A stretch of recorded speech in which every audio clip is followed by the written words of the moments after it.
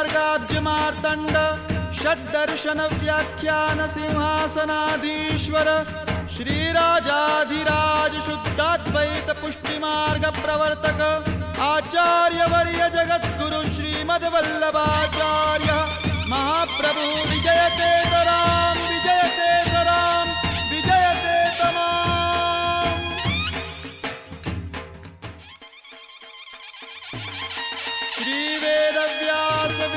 विष्णुस्वामि सम्प्रदाय समुद्धार संवृत श्री पुरुषोत्तम वदनानलावतार सर्वान्नाय संचार वैष्णवान्नाय, प्राचुर्य प्रकार श्री बिल्व मंगलाचार्य, सांप्रदायिकार्पित साम्राज्यासन अखंड भूमंडलाचार्य, चक्रचूडामणि विद्यावाचस्पति दश दिगंत विजयी श्री भागवत प्रतिपद मणिवर मूर्ति पदवाक्य प्रमाण पारावार पारीण भक्ति मार्गाब्ज मार्तंड षड्दर्शन व्याख्यान सिंहासनाधीश्वर श्रीराजाधिराज शुद्धाद्वैत पुष्टि मार्ग प्रवर्तक आचार्य वर्य जगद्गुरु श्रीमद्वल्लभाचार्य, महाप्रभु विजयते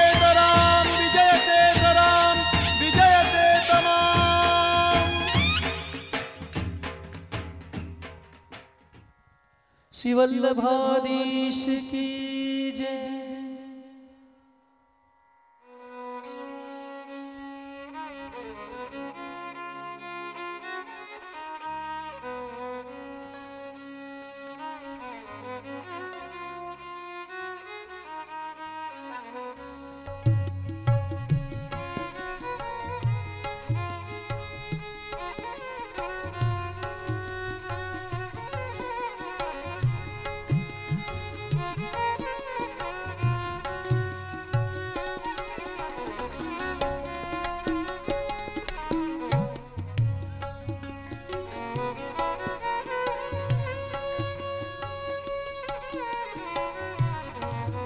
परमकृपाल श्रीवल्लभनन्दन। करत कर्क कृपनि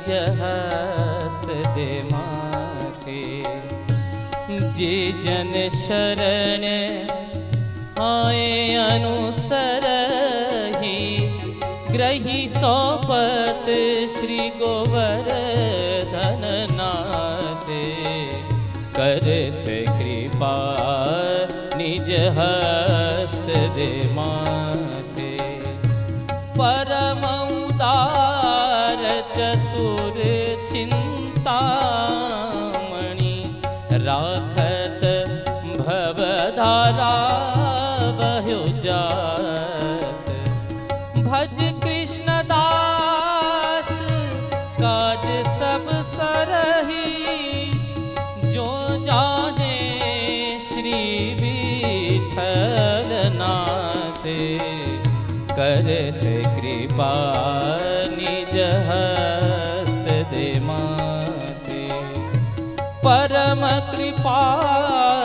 कृपाल श्री वल्लभ नंदन करत कृपा निज करत कृपा निज करत कृपा निज हस्त दे माथे।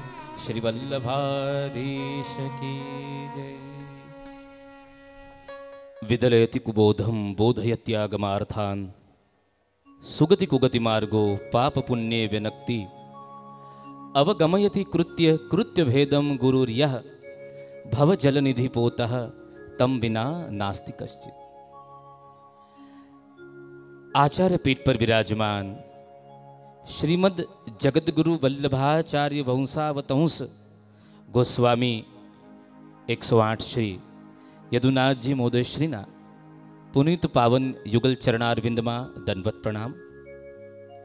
સમુપસ્થિત આ વલ્લભ સાખી રસપાન મહોત્સવ સત્રના મુખ્ય મનોરથી એમાં જેમનો પરિવાર સમસ્ત વડોદરાની પુષ્ટિ સૃષ્ટિ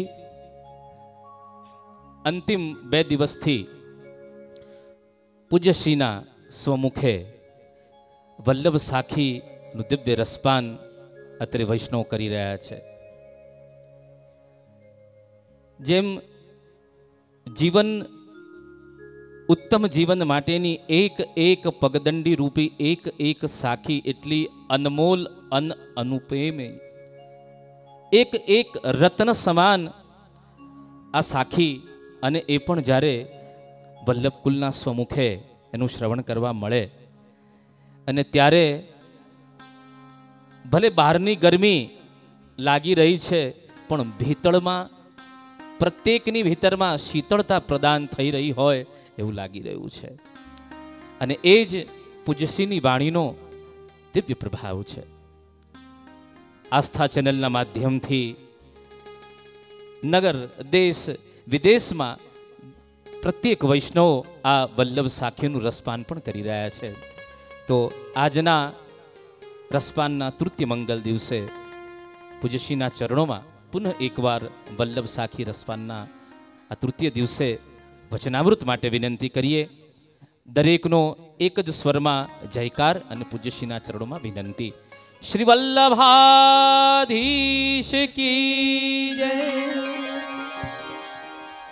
इस दिव्य उत्सव के अंदर निमित्त बने सुमित्रा बहन प्रफुल्ल चंद्र भाई शाह रम्यवदन भाई जय भाई। उनका समस्त परिवार एवं वल्लभ साखी के माध्यम से श्री वल्लभ के स्वरूप को जानने, मानने और प्राप्त करने के लिए आए मेरे सभी आत्मीजनों। आज अपनी इस सत्संग यात्रा का तृतीय दिवस, श्री वल्लभ के रस का धीरे धीरे जो पान करे, वो वल्लभ तक जाए बिना अपने आप को रोक नहीं सकता। कहते हैं कि सात दिन तक गुणगान करे, सात दिन तक श्री वल्लभ का नाम लिया, लेकिन सात दिन तक वर्ष में मात्र वल्लभ का नाम लिया, लेकिन आगे क्या? आगे श्री वल्लभ की ओर गति कैसे होगी? आगे वल्लभ का स्मरण कैसे होगा? लेकिन मैं कई बार एक वस्तु कहता हूँ, जैसे एक छोटी सी चींटी हो, वो कहीं बैठी हुई हो, उसके आगे एक शहद का बूंद आप डालो। उसके आगे दूसरी शहद की बूंद डालो, तीसरी बूंद डालो और करते करते वो शहद की जो जार है उसको कबाट के ऊपर रख दो। तो जो चींटी ने शहद की एक बूंद चाखी, उसका रस ले लिया, उसके रस का पान किया तो क्या धीरे धीरे बढ़ते बढ़ते वो शहद की जार तक पहुँच नहीं जाएगी? क्या लगता है? हाँ या ना? यदि शहद के छोटे से बूंद को जिसने चख लिया है, उसके स्वाद का आस्वादन जिसने कर लिया है, वो उस जार तक पहुँचे बिना अपने आप को रोक नहीं सकते तो चाहे तीन सौ पैंसठ दिन के अंदर ये सात दिन शहद की बूंद होंगी, लेकिन इस चीटी ने जब बूंद चाख ली है तो निश्चित मानना उस जार तक भी पहुँचे बिना रहोगे नहीं। श्री वल्लभ के रस की कणिका को जिसने पा लिया है उस कणिका का अनुभव जिसने कर लिया है। फिर वल्लभ तक जाए बिना अपने आप को रोक नहीं सकोगे। और मैं तो कहता हूँ कि ये वल्लभ साखी यानी क्या? ये वल्लभ साखी यानी श्री वल्लभ की कृपा का सागर। और वल्लभ साखी के अंदर आके आप बैठे हो तो मानो इस वल्लभ रूपी कृपा सागर के तट पे आके बैठे हो। और सागर की एक विशेषता होती है। यदि आप नदी किनारे जाओ तो पैर भिगो के नहीं लिए, अपने आप को भिगोने के लिए नदी में उतरना पड़े।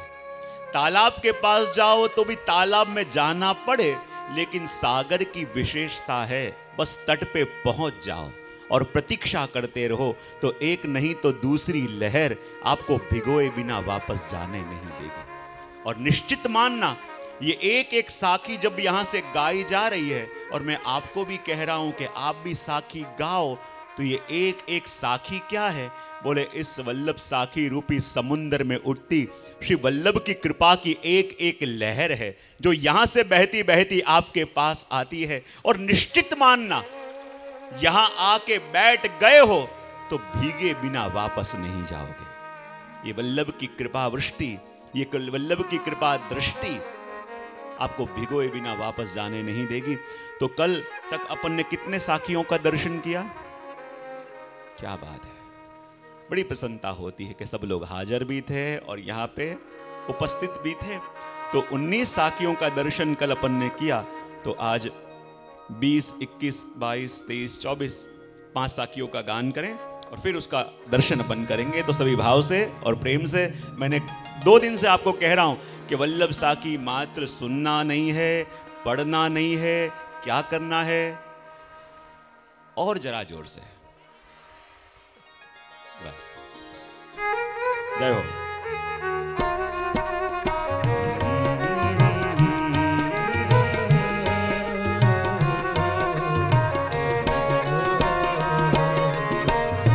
वल्लभ राजकुमार बिनु मिथ्या सब संसार।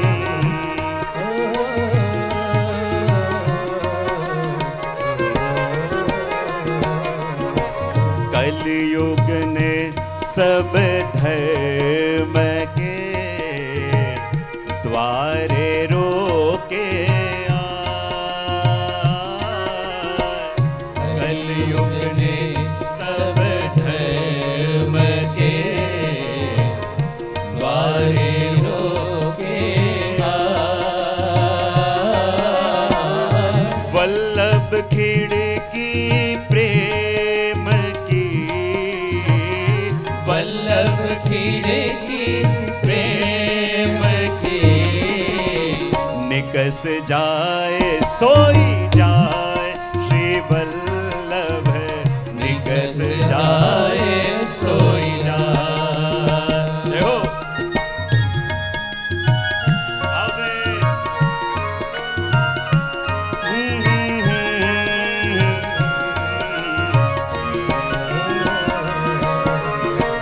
भगवद भगवदी एक राखो।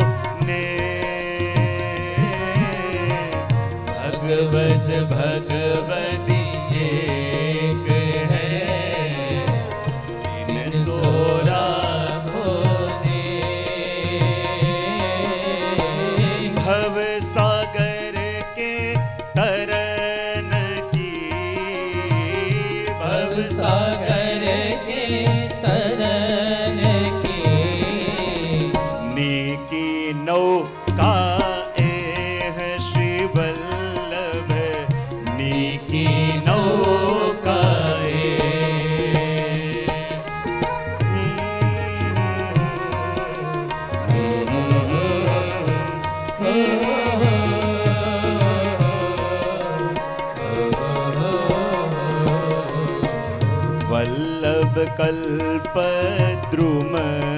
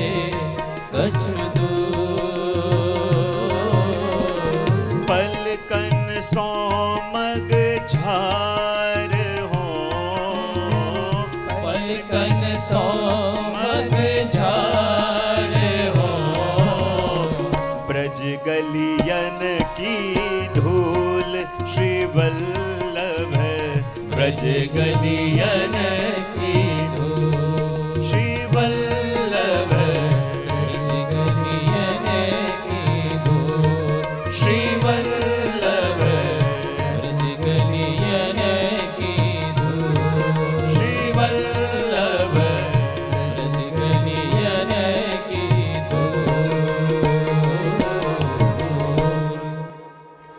बीसवीं साखी के अंदर शहराय महाप्रभु जी श्री गुसाई जी का स्मरण कर रहे हैं। और श्री गुसाई जी का स्मरण करके कह रहे हैं कि श्री वल्लभ राजकुमार बिनु मिथ्या सब संसार। श्री वल्लभ राजकुमार बिनु मिथ्या सब संसार, चढ़ी कागज़ की नाव पे कहो को उतर्यो पार। श्री राय महाप्रभु जी कह रहे हैं कि श्री गुसाई जी की कृपा का विचार यदि मैं करूँ तो यदि श्री गुसाई जी भूतल पे प्रागट्य न लेते तो सबसे बड़ा जो नुकसान वैष्णव को होता, वो कौन सा होता? क्या अष्टायाम की सेवा प्रारंभ न होती, अष्ट सखा की स्थापना न होती, ये सब तो अनुकूल है, लेकिन सबसे बड़ा नुकसान वैष्णव को वो होता, यदि श्री गुसाई जी प्रगटे न होते और सर्वोत्तम इत्यादि ग्रंथों की रचना न करते तो श्री महाप्रभु जी के स्वरूप को जीव कैसे जान पाता? और इसलिए तो श्री गुसाई जी का स्मरण करके हरिराय जी कह रहे हैं कि श्री वल्लभ राजकुमार बिनु मिथ्या सब संसार, क्योंकि जितने वर्ष हमारे श्री गुसाई जी के ठाकुर जी हैं, जितने वर्ष ठाकुर जी श्री गुसाई जी को हैं, इतने किसके हो सकते हैं? इसलिए तो जब यशोदा मैया ने भी एक बार जब ठाकुर जी खेल रहे थे, ठाकुर जी को अपने पास बुलाया और अपने पास बुला के यशोदा मैया प्रभु से कहने लगी, अरे कन्हैया, मैं तुझे रोज सुंदर सुंदर सामग्री अरोगाऊं, रोज सुंदर सुंदर वस्त्र धराऊं, रोज सुंदर सुंदर श्रृंगार धराऊं, और मैंने सुना है गोपी जन भी धराते हैं। तो तू मुझे ये बता आज कि तुझे सबसे उत्तम किसके हाथ का भाता है और किसके हाथ के श्रृंगार तुझे अनुकूल आते हैं? प्रभु ने कहा, मैया, कहूँ तो सही, पर तू नाराज़ हो जाएगी। मैया ने कहा, कह तो सही तुझे किसके हाथ से अरोगना अच्छा लगे और किसके वस्त्र श्रृंगार अच्छा लगे? प्रभु ने कहा, मैया, कहूँ तो सही, पर तू नाराज़ हो जाएगी, क्योंकि मैया जानती थी कि मेरे अलावा किसका नाम लेगा। मैया ने कहा, कह तो सही। और तब प्रभु ने कहा कि, भोग श्रृंगार मैया सुन मोको, श्री विठल नाथ के हाथ को भावे मैया, मुझे तो भोग और श्रृंगार दोनों सबसे अधिक सुहाता है तो मेरे श्री गुसाई जी के हाथ का सुहाता है। बोले, क्यों? बोले, देखो मैया, तुम तो यहाँ दूध, माखन, दही सब छुपा छुपा के रखते हो, लेकिन हमारे श्री गोसाई जी के वहाँ तो जो भी सिद्ध हो जाता है, जो भी सिद्ध होता है, सब सन्मुख कर देते हैं और मनुहार कर करके ब्रजभक्तों की कानी दे दे के मुझे अरोगाते हैं। देख मैया, यहाँ तो मैं ऐसे ही घूमूं, लेकिन गुसाई जी के घर में तो जैसे जैसे ऋतु बदले, मेरे वस्त्र श्रृंगार का क्रम बदले जैसे जैसे ऋतु बदले, वैसे सेवा का प्रकार बदले। और जैसे लाड़ मुझे श्री गुसाई जी लड़ाते हैं, ऐसे तो कौन लड़ा पावे? और इसलिए तो शहरियाई जी कहते हैं कि वल्लभ राज कुमार बिनु मिथ्या सब संसार। श्री गुसाई जी की कृपा के बिना और श्री गुसाई जी के वश जैसे प्रभु हैं, ऐसी कृपा और कौन कर पावे? क्योंकि देखो, जो जिसके अधीन है, उसकी प्राप्ति उसी से होती है। और कहते हैं कि प्रभु किनके अधीन? बोले श्री गोसाई जी के। और देखो, श्री गोसाई जी की कृपा का अनुभव कैसे? कुछ वर्षों पहले की ही बात है। यूरोप के ही एक वैष्णव दंपति भारत में आए। और श्री गोसाई जी के बारे में उन्होंने सुना, पढ़ा, सुन के भाव जगह ब्रह्म संबंध लिया। ब्रह्म संबंध लेने के बाद ठाकुर जी पधराए लेकिन विचार आया कि श्री गुसाई जी के चरित्र को सुनते सुनते हमारे हृदय में भाव जागा है। तो यहाँ से ठाकुर जी पुष्टाए ठाकुर जी पधराए तो ऐसे ही नहीं जाना, श्री गुसाई जी का स्वरूप भी यहाँ से संग में पधरा के अपने देश जाना है। और जब पूछने के लिए आए तो इतना ही कहा कि देखो ये ठाकुर जी तुम्हारे सर्वस्व हैं, इनको छोड़ के कहीं जाना मत। और ये बात उन दंपत्ति ने इतनी अपने मन के अंदर दृढ़ कर ली कि अपना अब कोई है तो अपने प्रभु हैं। और इनको छोड़ के एक क्षण के लिए भी हमको कहीं दूर नहीं जाना।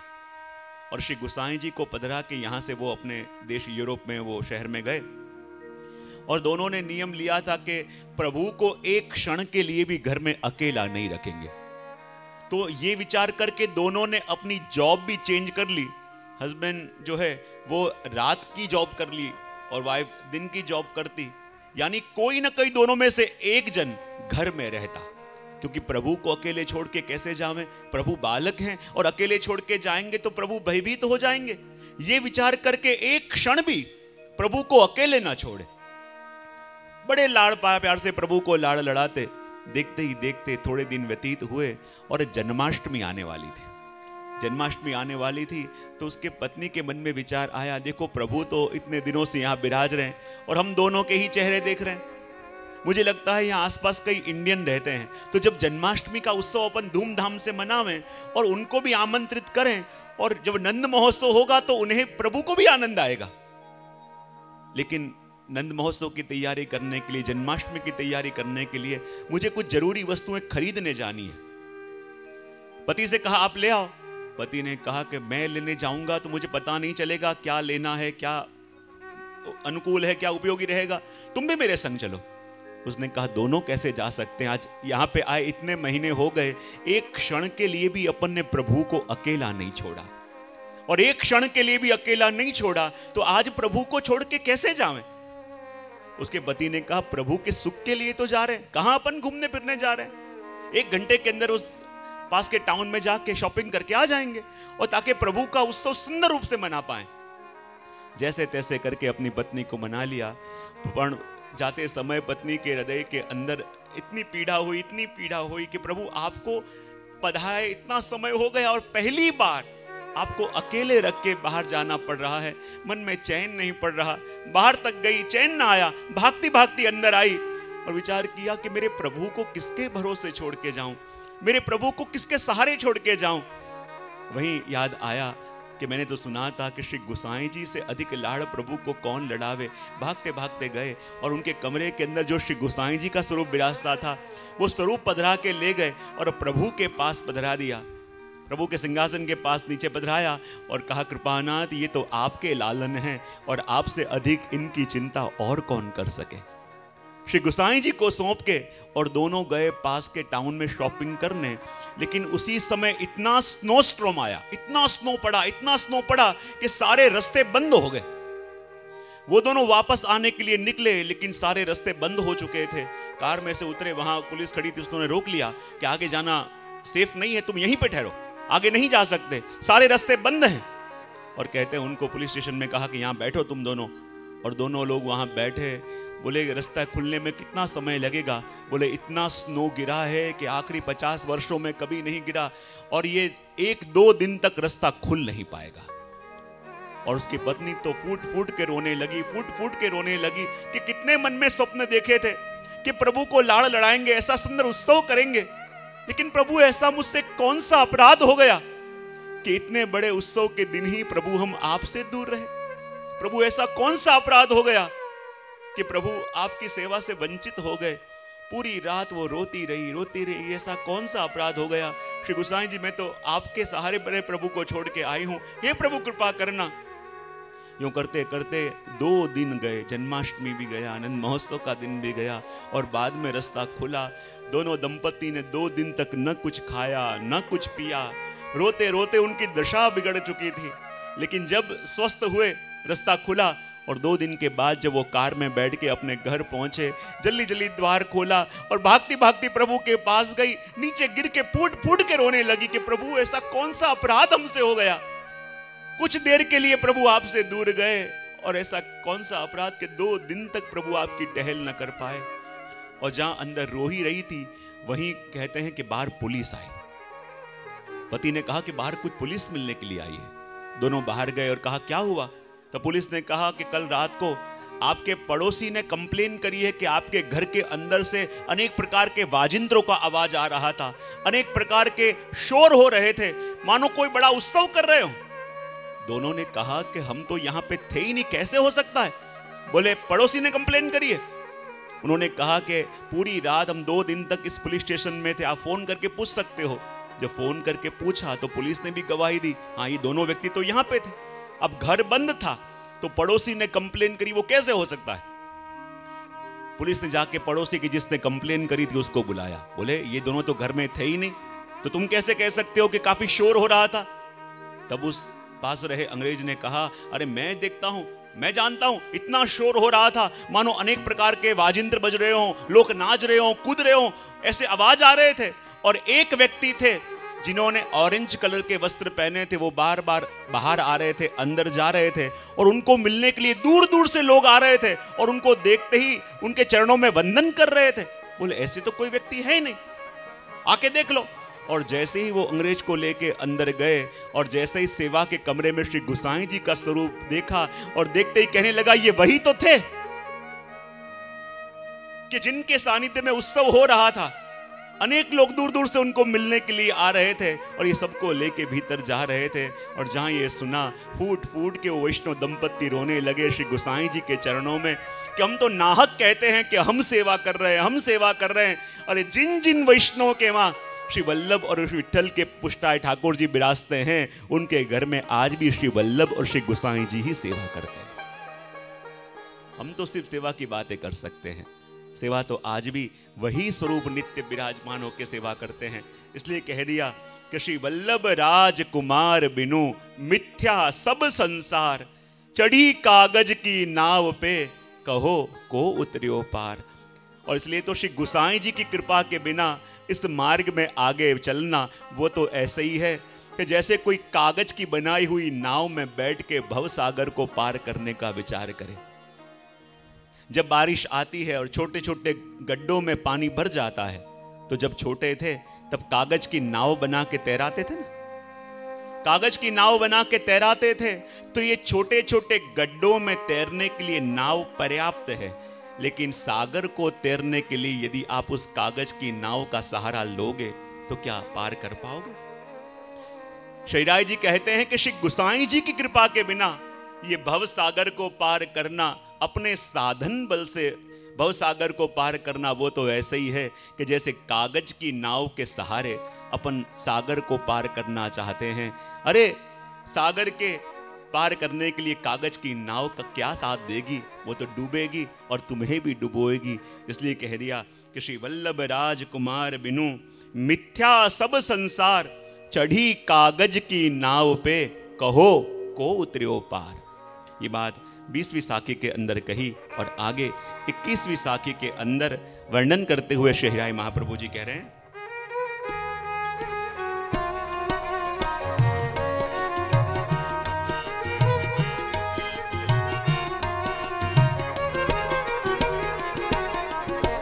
कल युग में सब धर्म के द्वारे रोके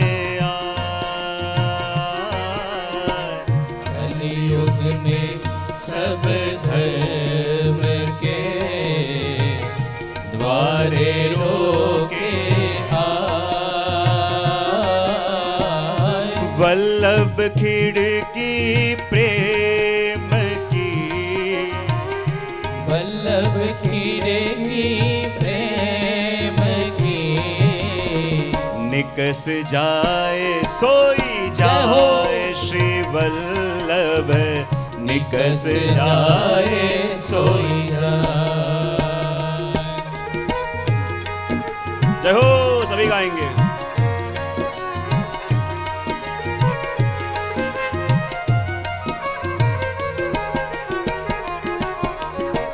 कल युग में सब धर्म के सभी गाओ। रोके आ- फिर से एक बार। कल युग में सब धर्म के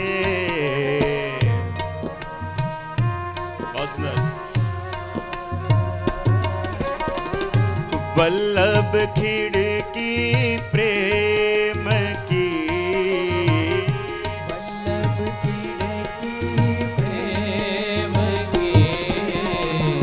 निकस जाए, सोई जाए, श्री वल्लभ निकस जाए, सोई जाए, श्री वल्लभ निकस जाए, सोई जाए, श्री वल्लभ निकस जाए, सोई जाए।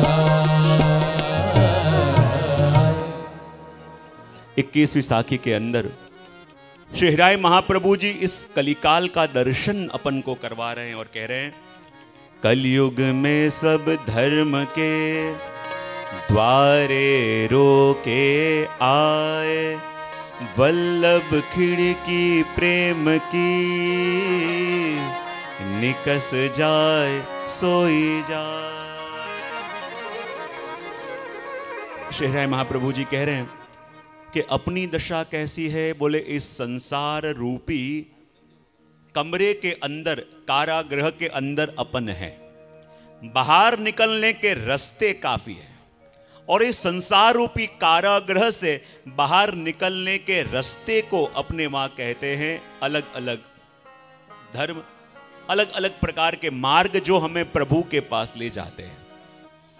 लेकिन इस संसार रूपी कारागृह के अंदर रहे अपन, जब बाहर निकलना चाहें तो क्या दिखे? बोले, कलयुग ने सब धर्म के द्वारे रोके। जिस भी रास्ते से बाहर निकलना चाहते हैं, क्या देखे कि वहीं शस्त्र लेके कलयुग खड़ा है और वापस अपन गए अंदर। महाप्रभु जी भी कहते हैं ना कि सर्व मार्गेशु नष्टेशु कलौ च खल धर्मणि। आज कलिकाल के अंदर सभी धर्म अपन को दिखते तो हैं, पर उनकी दशा कैसी है? कई बार कहता हूँ ना कि आपको एक नदी पार करनी हो और आप खड़े हो उस, इस तरफ़ जाना है उस तरफ़, लेकिन बीच में एक टूटा फूटा लकड़ी का पुल है। और जैसे ही लकड़ी का पुल देखा, आपको लगा कि इस पुल पे चल के मैं सामने पार जा सकता हूँ। लेकिन जैसे ही आपने पुल पे पैर रखा और इतना टूटा फूटा है कि पैर रखते ही दो चार लकड़ियाँ नीचे गिरी तो आप आगे जाने का साहस करोगे? गुजराती क्यारे ना करे, वो समझदार कहेवाय तो जैसे ही दो कदम आगे आप गए और दो चार लकड़े टूट के गिरे और आप सावधान हो गए, वापस पीछे आ गए आपने जब देखा तो लगा पुल तो है, पर उसकी दशा ऐसी जर्जरित हो गई है कि उस पर चल के आप पार जाना चाहते हो, लेकिन कब डूबो, ये कोई जानता नहीं। और इसलिए तो कह रहे हैं कि कलयुग में सब धर्म के द्वारे रोके आए, क्योंकि देखो, कलिकाल के अंदर अपन जो भी कुछ करना चाहेंगे अब जो भी कुछ धर्म का कार्य करना चाहो, उसके अंदर छह अंग धर्म के बताए गए हैं। और ये छह अंग अनुकूल हो, तब धर्म सिद्ध होता है। लेकिन कलिकाल के अंदर धर्म के ये छह अंग खंडित हो गए। और खंडित हो गए यानी सबसे पहला काल। काल यानी, देखो, ये पूरा काल समय, इसको क्या कहते हैं? ये भी धर्म का अंग है। और अपने वहाँ एक शास्त्रीय परंपरा है ना कि कोई भी कार्य करते हैं तो पहले मुहूर्त निकालते हैं। हाँ या ना, सुना है कि नहीं? बहुत बढ़िया। तो अपन को लगे मुहूर्त निकालने की ज़रूरत क्यों होती है? मुहूर्त क्यों निकालना पड़ता है? तो मैं इतना ही आपको कहूँ कि जैसे आप कोई अच्छी बात किसी को घर में कहना चाहते हो, बराबर? अच्छी बात भी किसी को कहना चाहते हो, लेकिन जिसको कहना चाहते हो वो व्यक्ति यदि मूड में न हो तो आपकी अच्छी बात भी वो मानेगा? हाँ? सभी बहनों का आंसर आया। तो जो अनुभवी हो, वही तो कहेंगे। तो यदि आप कोई अच्छी बात भी कहना चाहते हो, लेकिन उस समय कहते हो कि सामने वाला व्यक्ति मूड में नहीं है या उसका मूड खराब है तो आपकी अच्छी बात को भी वो स्वीकार करेगा नहीं। लेकिन यदि सामने वाला व्यक्ति बड़ा प्रसन्न हो, बड़े अच्छे मूड में हो, और उस समय शायद कोई मुश्किल बात भी आप उसको कह दो तो मानेगा कि नहीं? हाँ? बहुत बढ़िया। तो अपन अच्छी बात कहने के लिए भी सामने वाले का मूड देखते हैं ना। यदि मूड अच्छा है तो बात मानेगा, मूड अच्छा नहीं है तो बात नहीं मानेगा। उसी प्रकार हमारे ऋषि मुनि भी इतने सूक्ष्म थे कि उन्होंने देखा कि जैसे व्यक्ति का अच्छा बुरा मूड होता है, वैसे काल का भी अच्छा और बुरा मूड होता है। और काल का अच्छा मूड यानी मुहूर्त। व्यक्ति अच्छे मूड में है और आप बात करोगे तो मानेगा, लेकिन मुहूर्त निकालते तो हैं, पर संभालते बहुत बढ़िया। और फिर कहते हैं आटला आटला मुहूर्त कड़ाया था तो जो है। वो तो कलयुग में सब धर्म के द्वारे रोके आए। वल्लभ खिड़की प्रेम की निकस जाए, सोई जाए।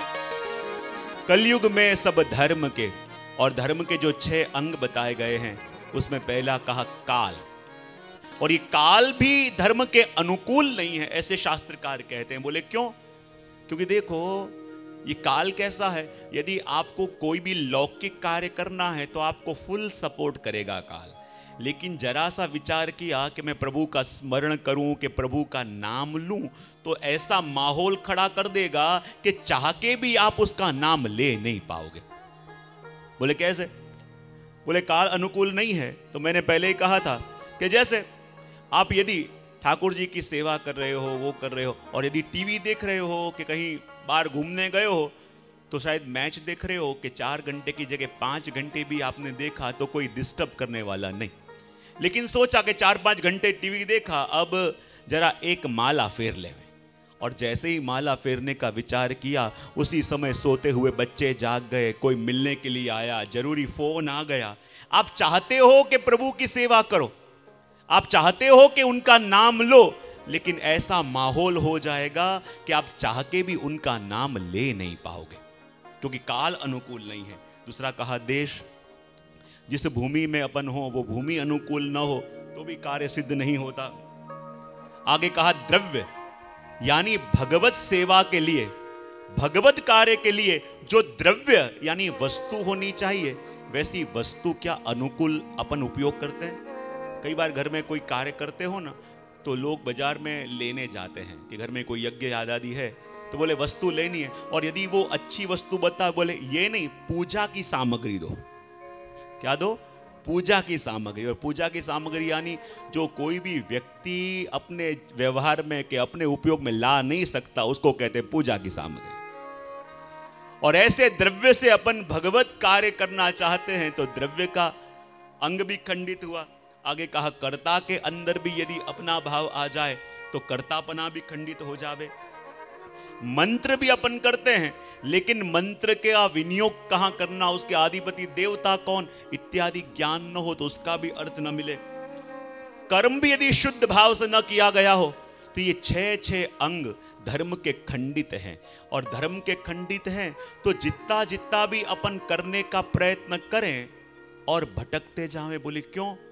कई बार अपन को लगे कितना कितना कार्य हो रहा है, कितना कितना वो हो रहा है, ये हो तो रहा है। लेकिन यही जी कहते हैं कि कलयुग में सब धर्म के द्वारे रोके आए। वल्लभ खिड़की प्रेम की निकस जाए, सोई जाए। और देखो ये कलयुग क्या है, बोले खल धर्म है। और खल धर्म है, यानी अपने अंदर कैसे प्रवेश चुपके से कर जाता है, अपन को पता भी नहीं चलता। और जब ये कली अपने अंदर आ गया तो सारे रास्ते बंद हो जाते हैं। तो ये दशा क्या हुई बताया हरिराय जी ने? कि अपन एक कारागृह के अंदर बंद हैं, जिसको कहते हैं संसार। और जितने भी द्वार से बाहर निकलने का प्रयत्न करते हैं, उस द्वार पे कलयुग अपनी पालती मार के बैठा है। जैसे निकलने का प्रयत्न करें और वापस कलयुग को दे के भीतर आवे तो बाहर निकलने का कोई रास्ता नहीं है। तो यहाँ हरिराय जी कहते हैं कि पूरे कारागृह के अंदर सभी द्वार जो हैं भगवत प्राप्ति के या प्रभु के पास जाने के, वो कलयुग रोक के बैठा है, लेकिन उस कारागृह के ऊपर एक खिड़की दिख रही है। और वो खिड़की ऐसी है कि जो प्रकाश भी देती है और मार्ग भी देती है, और वो खिड़की कौन सी है? बोले, श्री वल्लभ के मार्ग की। अपन को लगे कि जहाँ कलयुग ने सब धर्म के द्वारे रोके आए, जहाँ प्रभु के पास जाना है, और प्रभु के पास जाने वाले सारे मार्ग खंडित हो गए तो ये पुष्टि मार्ग क्या है? तो श्री महाप्रभु जी कहते हैं, जितने भी मार्ग हैं, वो कौन से जो हमें भगवान के पास ले जावे? पर ये पुष्टि मार्ग कौन सा जो भगवान को अपने घर पे ले आवे? यदि हमें प्रभु के पास जाना हो तो सारी कठिनाई हमें उठानी पड़े, लेकिन यदि भगवान हमें मिलना चाहें तो कोई समस्या है। यदि भगवान अपने पास आने का विचार करें तो कोई समस्या नहीं है। इसलिए कह दिया ये पुष्टि मार्ग तो वो मार्ग है कि जहाँ भगवान स्वयं आके भक्त के घर पे विराजमान होते हैं। और इसलिए कह दिया कि वल्लभ खिड़की प्रेम की, निकस जाए सोई जाए। और श्री महाप्रभु जी का सिद्धांत भी वो है। और देखो महाप्रभु जी ये संसार से बचने का उपाय भी बताते हैं। और संसार में रह के कैसे प्रभु में मन लगाना ये युक्ति भी दिखाते हैं। बोले, क्यों? देखो, अपन सब कहाँ रह रहे हैं? बोले, संसार के अंदर। और संसारियों को उपदेश करना है, इसलिए श्री महाप्रभु जी ने भी गृहस्थ आश्रम स्वीकार किया। क्योंकि जिसने गृहस्थ का अनुभव किया नहीं है, जिसने एक बार बंधन देखा नहीं है तो वो बंधन से छूटने के उपाय आपको कैसे बता सकता है? हा? विचार करना। यदि जिसने अनुभव नहीं किया तो उससे छूटने की युक्ति भी वो नहीं बता सकता। क्योंकि देखो, अधिकतर हैप्पी मैरिज लाइफ अधिकतर ये सुखी जीवन कैसे जीना, ये अपे अपन को वही समझाते हैं, या तो किसी की शादी नहीं हुई, या फिर वैराग्य ले लिया है।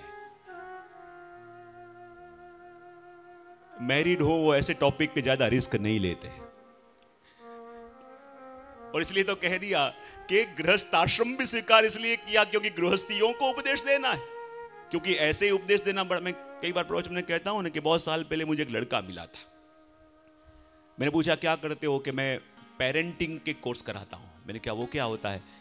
बोले, मैं जितने भी पेरेंट्स हैं, उनको ट्रेन करता हूँ कि कैसे अपने बच्चों को संभालना चाहिए। मैंने कहा अच्छा उसमें क्या कराते हो? बोले, मेरे पास तीन सूत्र हैं और वो तीन सूत्र ऐसे हैं कि जिसका अप्लाई लाइफ में करके बच्चों को बिल्कुल ट्रेन कर दिया जाए बच्चों को बिल्कुल अनुकूल कर देते हैं।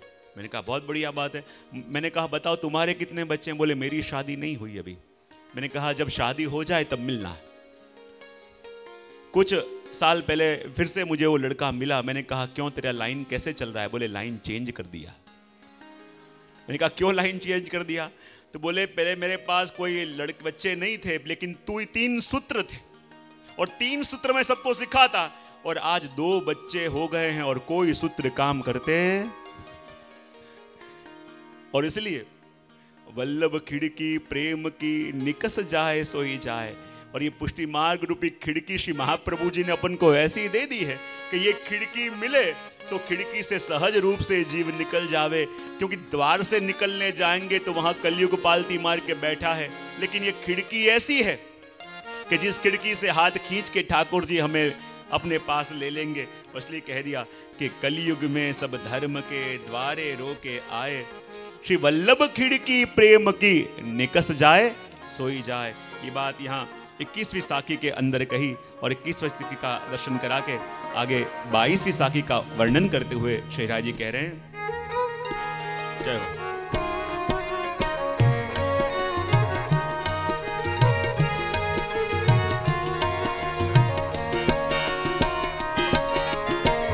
भगवद भगवदी एक है। तीन सोरा राखो ने भगवद भगवती एक है। तीन सौ राखो ने भव सागर के तरन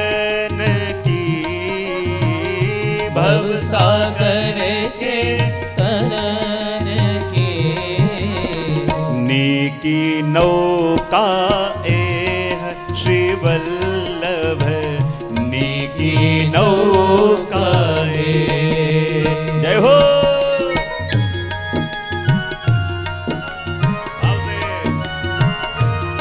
सभी एक संग आएँगे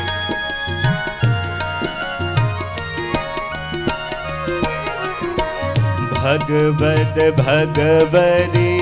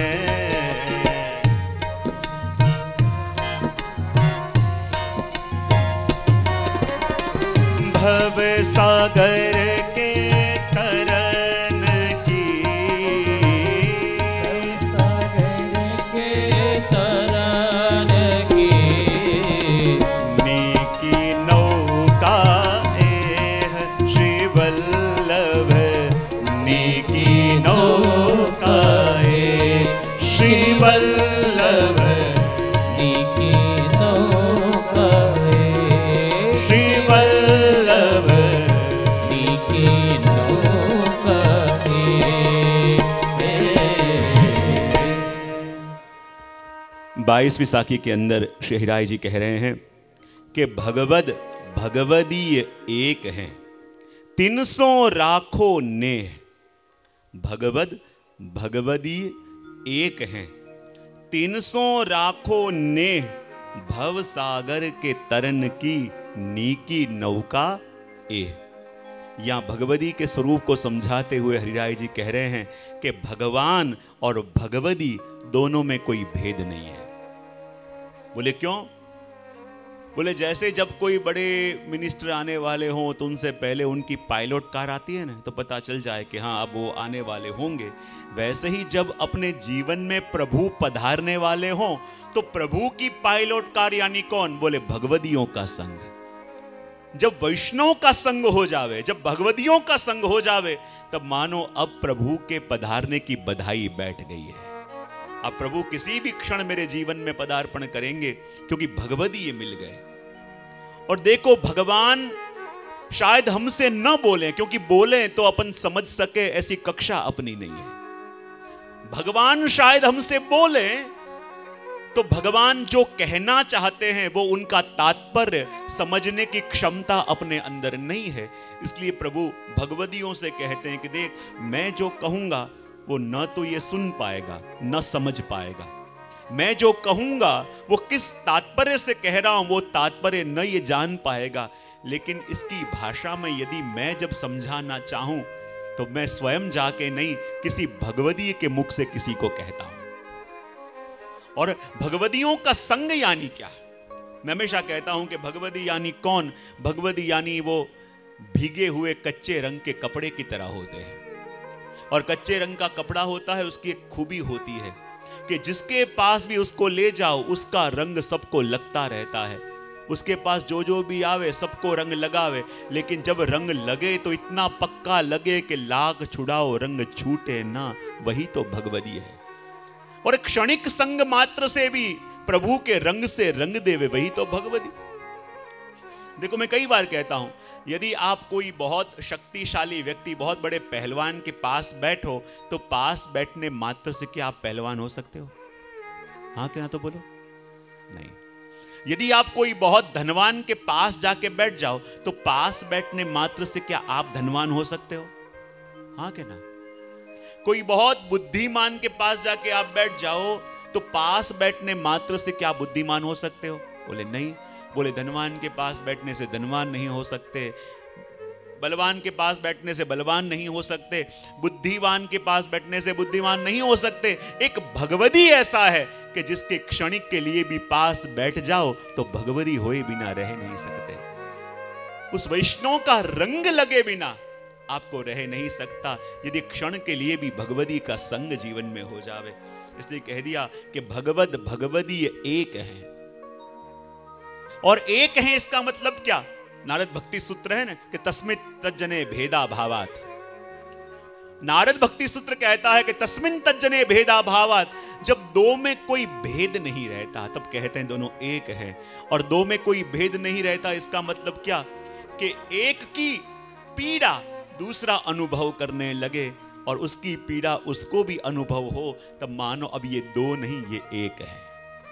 तो भगवती वही है। जो प्रभु के आनंद में आनंदित और जहाँ प्रभु को लेश मात्र भी श्रम पड़े, ऐसा उसको विचार भी आ जावे और वो बेचैन हो जावे। याद करो, जब श्री गोकुलेश प्रभु के प्रसंग में आता है ना, कि जब वैष्णव के आगे आपने वैष्णव की बात करी, कि ऐसे तादृशी वैष्णव होते हैं, तब सभी वैष्णव ने कहा, कृपा करके हमें भी उस तादृशी वैष्णव के दर्शन कराओ। हम भी जानना चाहते हैं कि तादृशी जो कैसे होते हैं? तब श्री गोकुलेश प्रभु ने आज्ञा करी, जब मेरा जन्मोत्सव आ रहा है, उस दिन तुम्हें उस तादृशी वैष्णव के दर्शन कराऊँगा। और वास्तव में जब श्री गोसाई जी गोकुलनाथ जी का प्रागट्य उत्सव महाउत्सव आया जगह जगह से वैष्णव आए हैं जगह जगह उत्सव मन रहे हैं, ऐसा आनंद छा रहा है। और जब वैष्णव महाप्रसाद लेने बैठे, श्री गोकुलेश प्रभु स्वयं अपने हाथों से वैष्णव को परोस रहे हैं। और परोसते परोसते जब एक जगह आए तो क्या देखा? वो वैष्णव फूट फूट के रोने लगा। उसकी आँख से चौधार आँसू बहने लगे। सब वैष्णव निंदा करने लगे, देखो कैसा वैष्णव। श्री गोकुलेश प्रभु का प्रागट्य उत्सव आज पूरी नगरी दुल्हन की तरह सजाई गई है। सब लोग आनंद उत्सव मना रहे हैं, महा उत्सव मन रहा है। और आनंद करने की जगह प्रभु को श्रम देने के लिए उनके सामने उनके प्रागट्य उत्सव पर रो रहा है। सब लोग समझाने का प्रयत्न करें, लेकिन उस वैष्णव के आँसू नहीं रुक रहे। जब श्री गोकुलनाथ जी ने देखा इतना ही कहा कि वैष्णव, तुम घर जाओ, तुमसे प्रसाद नहीं लिया जाएगा। और जहाँ ये कहा और उसके लगा के मानो देह के अंदर प्राण आ गए और वंदन करके वो वहाँ से चला गया। इस प्रसंग को थोड़े दिन व्यतीत हो गए। जब वैष्णव ने श्री गोकुलनाथ जी से कहा, कृपानाथ, आप तो आज्ञा कर रहे थे कि आपके जन्मदिन के दिन आप उस तादृशी वैष्णव के दर्शन कराओगे, लेकिन आपने तो करा ही नहीं। तब गोकुलनाथ जी ने कहा, वो वैष्णव याद है? जब मैं परोसते हुए जा रहा था और एक जगह आके खड़ा हुआ और वो वैष्णव रोने लगा था। वैष्णव ने कहा उसे कैसे भूल सकते हैं? इतने बड़े उत्सव में वो अपशगन कर रहा था, रो रहा था। बोले, वही तो तादृशी जन था। सब लोग कहने लगे, आप कैसे आज्ञा कर रहे हो? वो वैष्णव जो उत्सव में सभी आनंदित हो रहे थे, वहाँ वो रो रहा था। और आप कह रहे हो वो तादृशी जन? तब श्री गोकुलनाथ जी ने कही, वो निष्किंचन वैष्णव था। और उस दिन जब ठाकुर जी को भोग धर के आया तो उसके पास ठाकुर जी को भोग धरने के लिए कोई सामग्री भी ना थी। सूखी रोटी और नमक ठाकुर जी को भोग धर के वो आया था और यहाँ अनेक प्रकार की जब सामग्री देखी महाप्रसाद में तो वो उसका हृदय द्रवित हो गया कि जो वस्तु में अपने प्रभु को नहीं अरोगा सकता, वो मुझे लेने का क्या अधिकार है? लेकिन ना कह दूँ या उठ जाऊँगा तो प्रभु को श्रम पड़ेगा। इसलिए लिया भी नहीं जा रहा था और सहा भी नहीं जा रहा था। और जब श्री गोकुलनाथ जी ने देखा, उसके पीड़ा को समझ गए और कहा, तू घर जा। क्योंकि प्रभु के सुख के विचार में जो सुखी हो और प्रभु के श्रम के विचार मात्र से जो विचलित तो हो जावे, वही तो तादर्शी है। क्योंकि जिसमें प्रभु में कोई भेद नहीं रहा, तस्मिन तज्जने भेदा भावात। और इसलिए कह दिया भगवत भगवदीय एक हैं तीन सौ राखो ने देखो कहा कि भगवत भगवती एक हैं, तीन सौ राखो ने, और ऐसे भगवती का संग हो जावे तो सदा उनसे प्रेम बना के रखना। सदा उनको अपने मन में बसा के रखना। बोले, क्यों? क्योंकि प्रभु उनकी आड़ी से तुमसे रीझेंगे। प्रभु उनकी आड़ी से कृपा करेंगे। इसलिए कह दिया कि भगवत भगवती एक हैं, तीन सौ राखो ने, भव सागर के तरन की नीकी नौका ए। और मैं तो हमेशा प्रवचनों में कहता हूँ कि ये भगवती जन यानी कौन? मैं हमेशा कहता हूँ कि भगवती जन यानी हमारे प्रभु के नेत्र और जब आप चलते चलते जा रहे हो और रास्ते में कोई वैष्णव मिल जावे तो ये मत सोचो कि वैष्णव मिले। ये मानो ये तो प्रभु के नेत्र हैं। और मार्ग में चलते चलते वैष्णव मिले तो मानो आज प्रभु ने अपनी कृपा दृष्टि अपने ऊपर कर दी है। ये तो प्रभु के नेत्र हैं। और ऐसे ही वैष्णव जन अपने घर पे भी नहीं आते जब पूछा गया प्रभु से कि प्रभु, हम तो रोज सुंदर सुंदर सामग्री करके आपको अरोग आते हैं, पर आज आप प्रेम से अरोगे हो, पता कब चले? और तब प्रभु ने भी कहा कि जब भोग सरा के प्रसाद लेने बैठो और उसी समय तुम्हारे घर में कोई अनायास वैष्णव आ जाए तो मानो आज मैं प्रेम से अरोगा हूँ।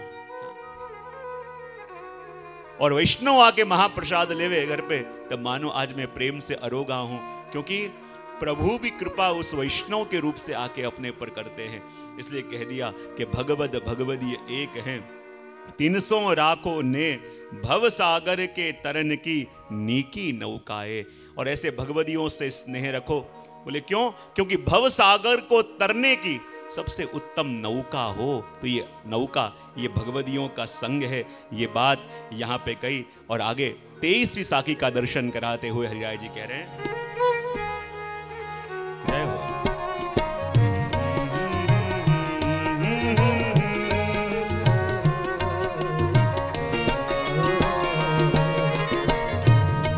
वल्लभ कल्प द्रुम फल्यो। फल लाग्यो विठले। वल्लभ कल्प द्रुम फल्यो। फल लाग्यो विठले। शाखा सब बालक सब बालक भई। ताको पार न पावत शेष श्री वल्लभ पार न पावत शेष।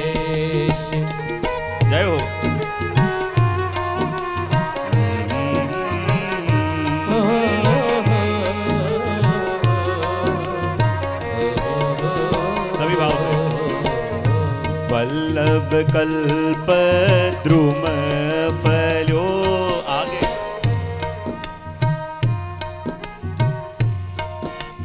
अब ये साइड वाले गाएँगे वल्लभ कल्प द्रुम फल्यो आगे। अब ये तरफ़ वाले। वल्लभ कल्प द्रुम फल्यो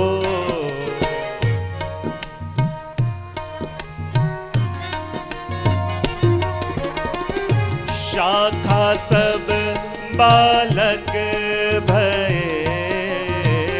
शाखा सब बालक भय।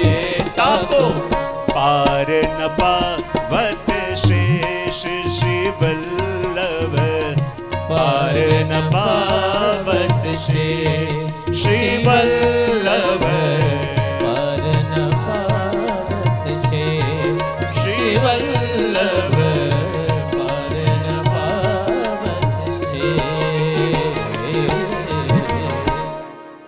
तेईसवीं साखी के अंदर हरिराय जी कह रहे हैं कि श्री वल्लभ कल्प द्रूम फल्यो फल लाग्यो विठलेश।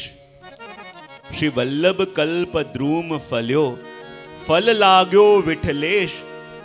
शाखा सब बालक भय, ताको पार न पावत शेष। श्री महाप्रभु जी कौन है? तो हरिराय जी कह रहे हैं कि श्री वल्लभ कल्प द्रूम फल्यो जिस जिसके मुख में श्री वल्लभ का नाम आवे, जिन जिन के घर में भी श्री वल्लभ विराजे, मानो वो वल्लभ कौन है? बोले, स्वयं कल्प वृक्ष है। और कल्प वृक्ष किसको कहते हैं? कि जिसकी छांव में बैठो तो छाव में बैठने वाले के सारे अलौकिक मनोरथ पूरे करे, उसी को तो कहते हैं कल्प वृक्ष और सात दिन तक आप भी इस पंडाल में बैठे हो तो जब श्री महाप्रभु जी यहाँ पधार गए उस दिन से ही ये पंडाल पंडाल नहीं तो कल्प वृक्ष बन चुका है। और आप कल्प वृक्ष की छांव में बैठे हो। और कल्प वृक्ष किसको कहते हैं कि जिसकी छांव में बैठे, और छांव में बैठने वाले के सारे मनोरथ पूरे करे, उसको कहते हैं कल्प वृक्ष और कहते हैं, ये वल्लभ कैसे हैं? बोले, वल्लभ कल्प द्रुम फल्यो और उस कल्प वृक्ष के ऊपर सुंदर लगा हुआ मधुर फल, यानी कौन? फल लाग्यो विठलेश। श्री गुसाई जी प्रभु चरण यानी इस कल्प वृक्ष के ऊपर लगा हुआ मधुर फल। शाखा सब बालक भय। और कहते हैं कि श्री वल्लभ, श्री गुसाई जी के सभी बालक वो कौन है? बोले, उसी कल्प वृक्ष की अलग अलग शाखाएँ और जिस भी वल्लभ के सानिध्य में, वल्लभ के किसी भी बालक के सानिध्य में अपन बैठे हों तो हरियाय जी कहते हैं, अपन उस कल्पवृक्ष की छाओं के अंदर ही बैठे हुए हैं। और श्री महाप्रभु जी का पूरा परिवार भी कैसा। श्री गोपीनाथ जी के जिनके लिए स्वयं पुरुषोत्तम सहस्त्र नाम की रचना श्री महाप्रभु जी ने करी, श्री गोसाई जी प्रभु चरण जिन्होंने ये पुष्टि मार्ग रूपी सुरेख चित्र के अंदर सुंदर रंग भरे। सातों लाल जी, श्री गिरधर जी के जिनको स्वयं श्रीनाथ जी ने कहा, मुझे आपका घर देखने आना है। और जो छोटे से बालक की तरह श्रीनाथ जी को अपने कंधे पे उठा के पधरा के गए। श्री गोविंद राय जी ऐसा ताप, ऐसी सेवा का ताप कि आपका ब्याह था, बारात निकलने वाली थी। उस समय भी सेवा में ऐसी रुचि ऐसी रुचि के विलाप करने लगे। और कहते हैं कि श्री गुसाई जी ने भी कहा, बाबा आप सेवा में पधारो, बारात बाद में निकलेगी। ऐसी सेवा रसिकता। श्री बालकृष्ण लाल जी, राजीव लोचन जी, कि जिनके तरह श्रीनाथ जी ने अपने नेत्र चाहे। श्री गोकुलेश प्रभु, चतुर्थ लाल जी, माला तिलक के रक्षक और आज जो भी वार्ता साहित्य अपन पढ़ते हैं, वो भी श्री गोकुलेश प्रभु की महद कृपा अपने ऊपर। पंचम लाल जी, श्री रघुनाथ जी, जिन्होंने श्री गुसाई जी का परिचय अपन को नाम रत्नाख्यान सूत्र के द्वारा कराया। चट्टे लाल जी, यदुनाथ जी, जिन्होंने वल्लभ दिग्विजय के द्वारा श्री महाप्रभु जी के जीवन को उद्घोटित किया। घनश्याम लाल जी, श्रीमद भागवत जी के ऊपर ऐसे अद्भुत अर्थ आपने प्रकट किए और कहते हैं, ये सभी बालक कौन हैं? बोले, श्री महाप्रभु जी के ही रूप देखो कहते ना, श्री वल्लभ इतने रूप से विराजते हैं और इतनी जगह श्री महाप्रभु जी की नित्य उपस्थिति होती है। सबसे पहले कहा कि जहाँ जहाँ भी श्री महाप्रभु जी के बैठक जी विराजते हैं, वहाँ वल्लभ प्रगट विराजे। जहाँ जहाँ महाप्रभु जी के ग्रंथ विराजे, वहाँ प्रगट। जहाँ जहाँ श्री महाप्रभु जी के पादुका जी विराजे, वहाँ भी प्रगट वल्लभ। जहाँ जहाँ हस्ताक्षर विराजे वहाँ वहाँ प्रगट वल्लभ। जहाँ जहाँ श्री वल्लभ के ग्रंथ विराजे वहाँ प्रगट वल्लभ। जहाँ जहाँ गले में कंठी, वहाँ वल्लभ। जहाँ जहाँ हाथ में जपमाला, वहाँ वल्लभ। और जहाँ जहाँ वल्लभ कुल के बालक भी विराजे वहाँ भी वल्लभ की नित्य उपस्थिति मानी गई है। क्योंकि उनके प्रतिनिधि के रूप से ही कोई भी आचार्य पधारते हैं, तब पधारते हैं। अपने बलबूते पे नहीं। इसलिए इतनी जगह श्री वल्लभ की नित्य उपस्थिति मानी गई है। और जब श्री वल्लभ के सानिध्य में रहें तभी तो जीव आनंद में रह सकता है। इसलिए तो अपने वहाँ कहते हैं कि यदि जीव आनंद में रहे तो कहाँ रहे? तो कहते हैं कि वल्लभ के शरण में जाके। और इसलिए तो भगवदियों ने गाया और कहा वल्लभ ना शरण जे रहिए आनंद मा। वल्लभ ना शरण जय रहिए आनंद वल्लभ ना शरण जे रहिए आनंद जय हो!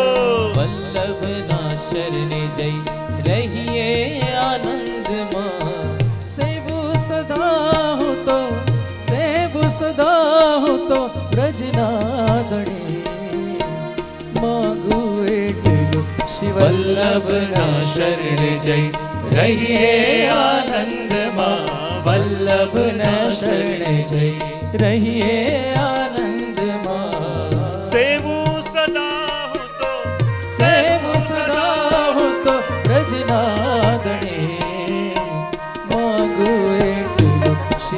शिवल्लभ ना शरण जय। रहिए आनंद मा। वल्लभ ना शरण जय। रहिए आनंद जय हो। सभी की तालियाँ भाव से।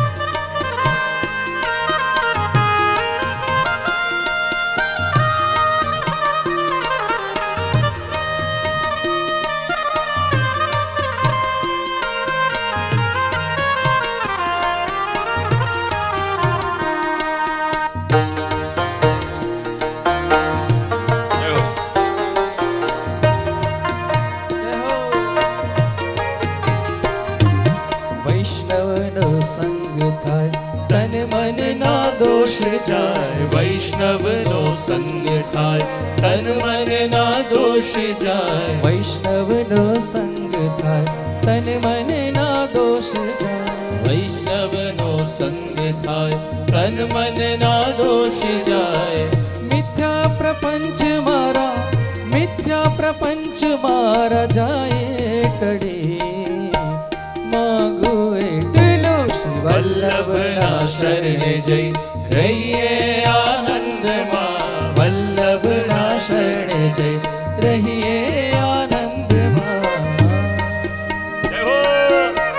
तालियाँ एक साथ।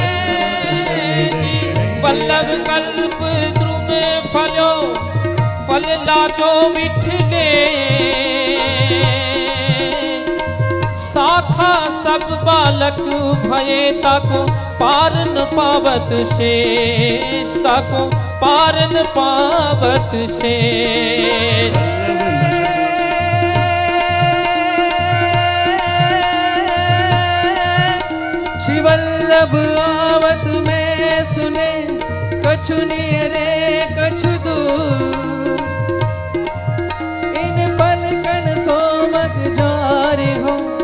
ब्रज कलियन की दूर शिवल्लभ ब्रज कलियन की दूर शिवल्लभ कलियन की दूर। वल्लभ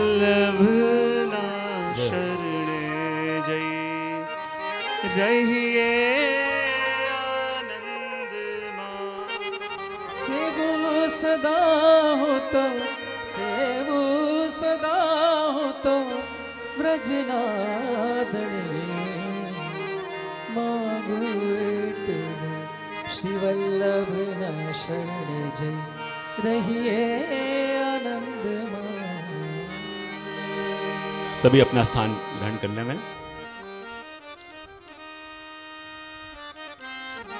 शिवल्लभ कल्प द्रूम फल्यो, फल लाग्यो विठलेश शाखा सब बालक भय ताको पार न पावत शेष। और वही वस्तु यहाँ शहराय महाप्रभु जी ने अपन को उद्घाटित करके बताई कि इस कल्पवृक्ष की छांव के अंदर अपन आ जावें। कल्पवृक्ष की निश्रा के अंदर अपन आ जावें, तभी सारे अलौकिक, मनोरथ पूर्ण होते हैं। ये बात तेईस से साखी में श्रवण करके आगे चौबीसवीं साखी का दर्शन करें कि जिसके अंदर हिराय महाप्रभु जी कह रहे हैं।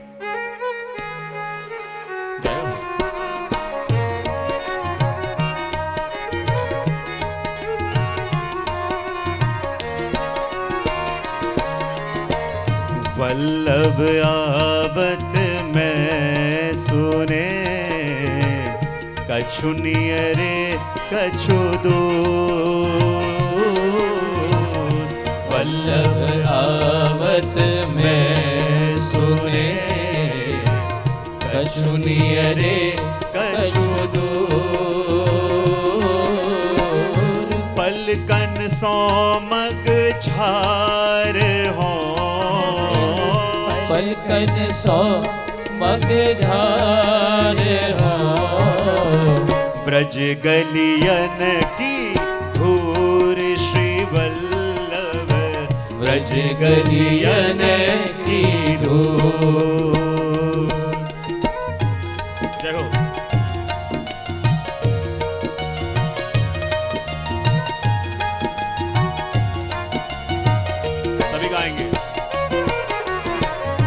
वल्लभ आवत मैं सुने।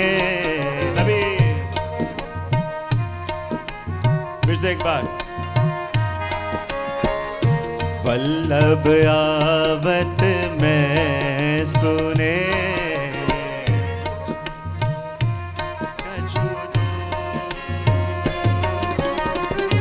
पलकन सोमग झार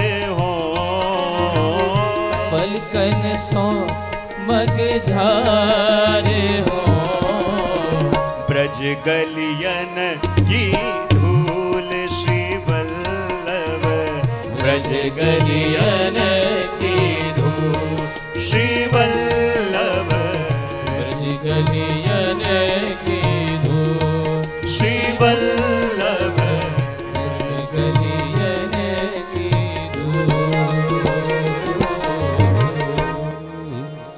चौबीसवीं साखी के अंदर श्री हरिराय जी कह रहे हैं कि वल्लभ आवत मैं सुने, कछु नियरे, कछु दूर, इन पलकन सो मग झार हूँ, ब्रज गलियन की धूर। देखो, कई साखी ऐसी हैं जिसमें श्री हरिराय जी के सामने स्वयं श्री वल्लभ पधारे हैं। और ये साखी ऐसी है कि जिसमें श्री वल्लभ पधार रहे हैं। ये संकेत हरिराय जी को मिले हैं। देखो, कई बार क्या होता है कि जब प्रियतम संग हो तो युग युग जितना समय भी एक क्षण के अंदर कट जावे। लेकिन प्रियतम जब आने वाले हों और उसकी प्रतीक्षा कर रहे हों तो एक एक क्षण ऐसे बीतता है कि मानो एक एक युग बीत रहा हो। और जब श्री हरिराय जी को ये संकेत मिला कि श्री वल्लभ उनको मिलने पधार रहे हैं। श्री वल्लभ उनके सामने पधार रहे हैं और कैसी दशा हरिराय जी की हुई कि वल्लभ आवे, आवत मैं सुने, कछु नियरे कछु दूर। जब प्रियतम की प्रतीक्षा अपन कर रहे हो, पता चले कि बिल्कुल पास आ गए हैं और वही समाचार आवे कि ना, अभी थोड़े दूर है। और जैसे संयोग, वियोग संयोग, वियोग, जब पता चले कि पास आ गए हैं तो संयोग की अनुभूति होने लगे, वहीं पता चले नहीं, अभी तो थोड़े दूर कहीं अटके हुए हैं। फिर से वियोग का अनुभव हो। और कई बार कहते हैं ना कि प्रभु के दर्शन में शायद जो सुख मिले, उससे भी अधिक सुख प्रभु की प्रतीक्षा में है। प्रभु के लिए तड़पने में है, प्रभु के लिए व्याकुलता में है। कहते हैं कि एक संत हुए जो पूरी ज़िंदगी प्रभु को खोजते रहते कि मेरे प्रभु कहाँ है, मेरे प्रभु कहाँ है। और बिल्कुल गोपियों की तरह वृक्षों से, हृदय से लग लग के और कहते कि मेरे प्रभु का रास्ता बताओ, मेरे प्रभु कहाँ है। जैसी दशा उन गोपियों की हुई थी, वैसी दशा उन संत की हो गई। एक एक वृक्षों से वज में जाके पूछते कि मेरे प्रभु कहाँ है, मेरे प्रभु कहाँ प्रभु कहीं ना मिले, लेकिन वो कवि कहते हैं कि एक बार जब वो ढूंढते ढूंढते जा रहे थे तो एक सुंदर घर उनको दिखा कि जिसमें लिखा था कि भगवान यहाँ पे रहते हैं। देखते ही एक बार तो नाच उठे, देखते ही एक बार तो नाचने लगे कि वर्षों तक मैं जिनके लिए तड़पा, वर्षों तक प्रयत्न करता रहा कि वो मुझे कब मिले। और आज मेरी यात्रा का अंत हो गया। जिनको मैं खोज रहा था, जिनको मैं ढूंढ रहा था, वो मेरे सामने उसी भवन के अंदर रहते हैं और नाचने लगा और प्रसन्न होकर जैसे ही दौड़ने लगा, उसकी यात्रा वहीं पैर थंबित हो गए। बोले, क्यों? दो घड़ी सोचने लगा कि जब तक मिले न थे, तब तक उनके लिए रोता था, उनके लिए तड़पता था। ये जिह्वा उनके अलावा किसी का नाम लेने को तैयार नहीं थी। खा रहा हूँ, पी रहा हूँ, कुछ भी कर रहा हूँ तो यही प्रतीक्षा रहती थी कि मेरे प्रभु कब मिलेंगे, मेरे प्रभु कब मेरे पास आएँगे, मेरे प्रभु को मेरी याद कब आएगी? लेकिन एक बार मैं अंदर चला गया और हो सकता है कि जिन प्रभु को खोज रहा था, वो प्रभु अंदर ही रहते हों। और एक बार प्रभु मिल गए, एक बार प्रभु से मैं मिल चुका हूँ, मिलाप हो गया तो फिर क्या इन आँखों में वो प्रतीक्षा रहेगी कि जो प्रतीक्षा पहले थी? ये आँखें बाद में उनको याद कर करके क्या वैसे ही आँख आँसू बहाएँगी कि जो पहले बहाती थी? ये नैन जैसे उनके लिए बार बार तड़पते थे, चारों ओर उन्हीं को खोजते थे। क्या ऐसी तड़प इन नैनों के अंदर रहेगी एक बार शायद मिलन हो भी गया, एक बार प्रभु मिल भी गए, लेकिन मिलने के बाद, मिलन के सुख के बाद वो वियोग का सुख कैसे मिलेगा? कि पल पल उनके लिए तड़पना पल पल उनके दर्शन के लिए आँसू बहाना पल पल उन्हीं की प्रतीक्षा करते रहना, वो तड़प नहीं रहेगी। और जब बरसों से जिन प्रभु को ढूंढ रहा था, रो रहा था उनके लिए, उनके दर्शन के लिए व्याकुल था, लेकिन आज उनका पता भी मिल चुका है। लेकिन जैसे ही देखा कि सामने के घर में प्रभु रहते हैं, उसने अपना चेहरा घुमा लिया और, हे प्रभु कहाँ हो? हे प्रभु कहाँ हो? कहते अलग रास्ते पे चलने लगा। क्योंकि प्रभु के लिए तड़पने में मज़ा जो है, वो शायद मिल के मज़ा हो के ना हो। प्रभु के लिए रो के जो आनंद आता है पल पल उसी का स्मरण पल पल उसी का चिंतन। एक एक श्वास भी उनके नाम के संग जब आ रही है, वो तड़प मिलने के बाद रहे कि ना रहे, कौन जाने? और रास्ता बदल के अलग रास्ते चलने लगा। वैसे ही कहने लगा, हे प्रभु, कहाँ हो? हे प्रभु, कहाँ हो? क्योंकि कई बार उनके लिए तड़प के जो आनंद आवे, वो शायद मिल के रहे कि ना रहे। विचार करो, इसलिए तो कहते हैं कि वल्लभ आवत में सुने। जब दमला जी को वल्लभ ने संकेत दिया कि इसी झरोके के सामने वाले राजमार्ग में तुम्हें मेरे दर्शन होंगे। पूरा दिन दमला जी वहीं पे बैठे रहते, किसी मेरे वल्लभ कब आवे? मेरे वल्लभ कब पधारे? ऐसी दशा हो गई कि रात को सोते हो, जरा सा आवाज़ आवे, उठ के भागे, कहीं मेरे वल्लभ तो नहीं आ गए। भोजन कर रहे हो, जरा सी आहट हो, उन्हें लगे मेरे वल्लभ तो नहीं आ गए। भागते हुए जावे और ऐसी दशा जब दमला जी की हो गई कि मेरे वल्लभ कब पधारेंगे, मेरे वल्लभ कब पधारेंगे। लेकिन एक दिन जब भाइयों के अंदर संपत्ति का बंटवारा हो रहा था, और जब भाइयों में संपत्ति का बंटवारा हो रहा था, उसी समय सामने के राजमार्ग श्री वल्लभ पधारे और जब ये बधाई मिली, दमला जी ने कहा, अरे, जिसकी प्रतीक्षा युगों से कर रहा था, आज वो मेरे सामने आ गए और जहाँ झरोखे में से श्री वल्लभ के दर्शन करे। भाई सब कहने लगे, अरे, संपत्ति का बंटवारा हो रहा है, कहाँ जा रहे हो? उन्होंने कहा कि, आज संपत्ति का बंटवारा हो रहा है, जो तुम्हारे भाग का था, तुम्हें मिल गया और जो मेरे भाग का था, वो मेरे सामने आ रहा है। मेरी संपत्ति, मेरा सर्वस्व, मेरा धन तो मेरे सामने आ रहा है। और सीधे झरोके से छलांग लगाई।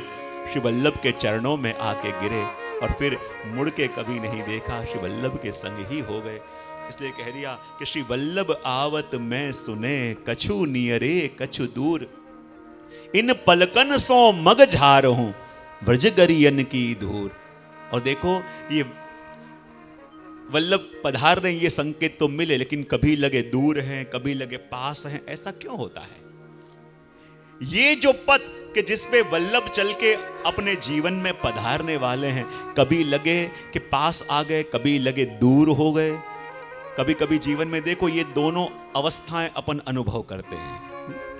जब हृदय में आनंद आने लगे, जब हृदय में प्रभु के गुणगान करने का सुख प्राप्त होने लगे, जब प्रभु के गुणगान का मन हो, तब लगो लगे कि वल्लभ पास है।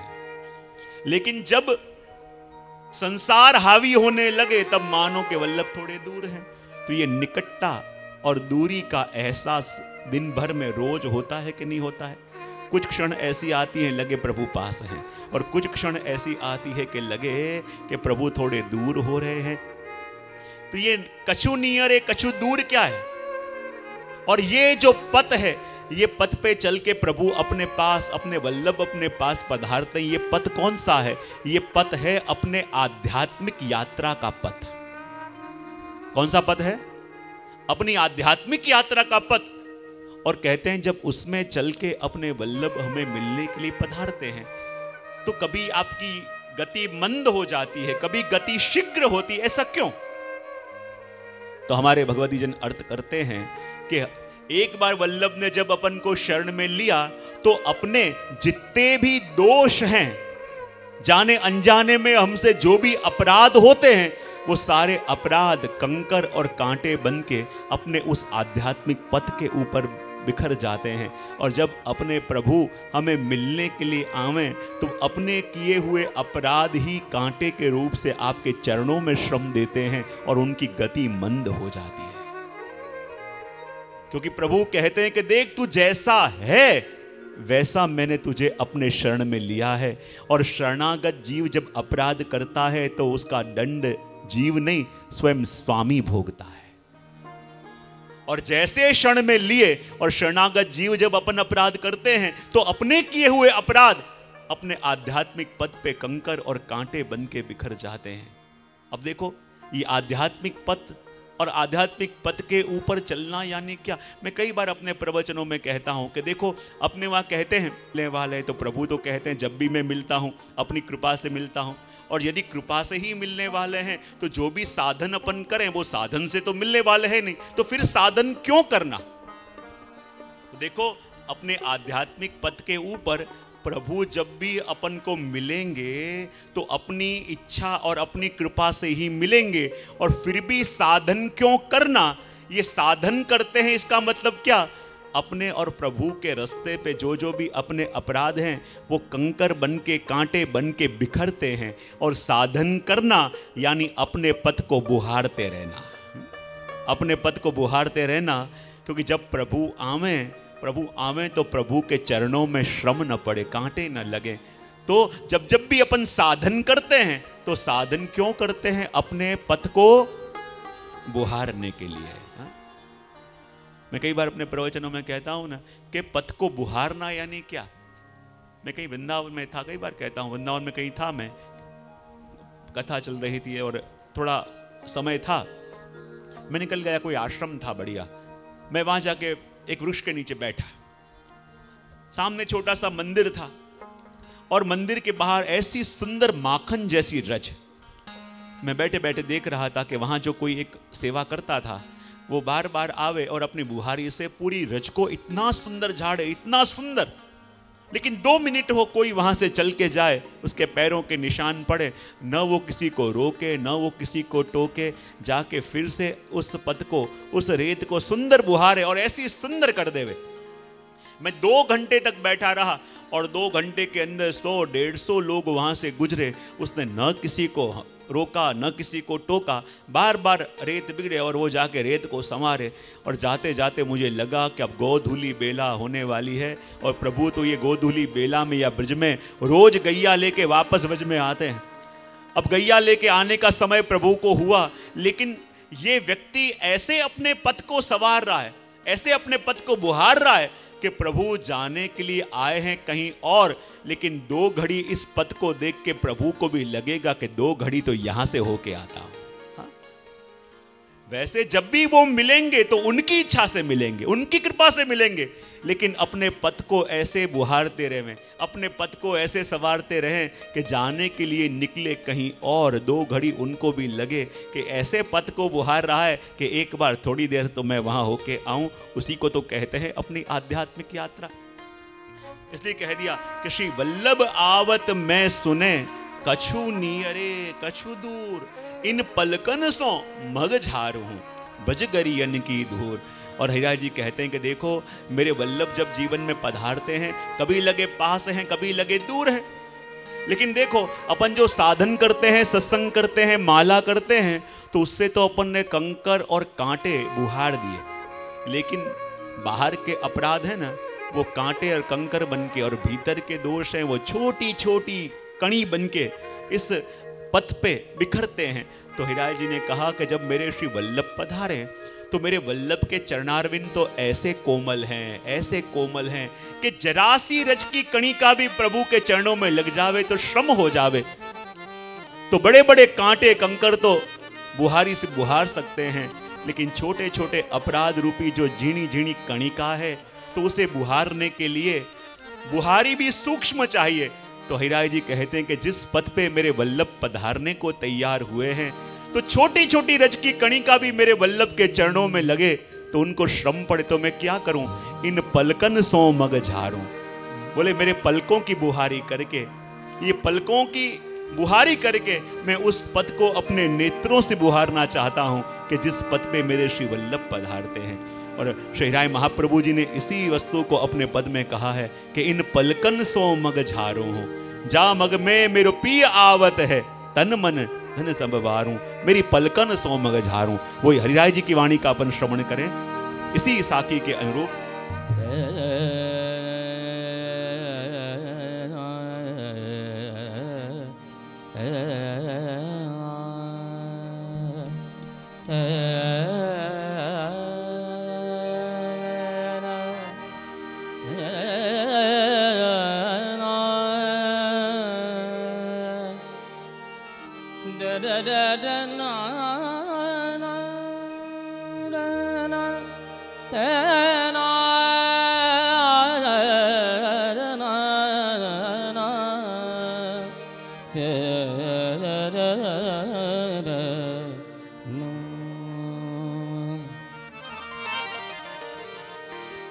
पलकन सोमग छारोइन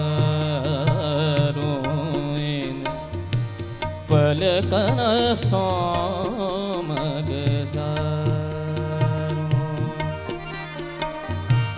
पलकन सोमग झारो पलकन सोमग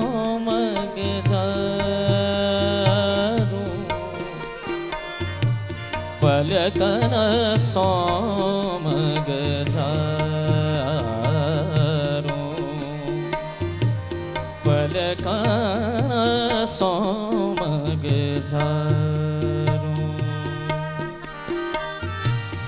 या मग में मेरो प्यारो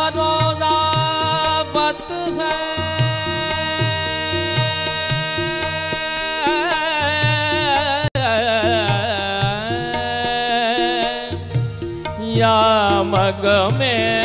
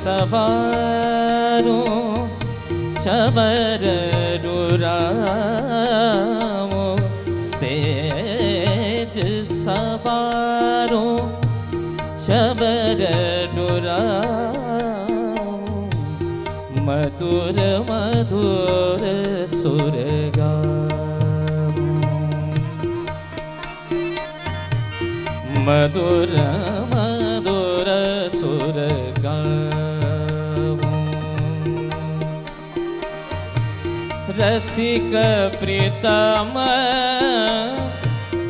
मोजे मिले तो।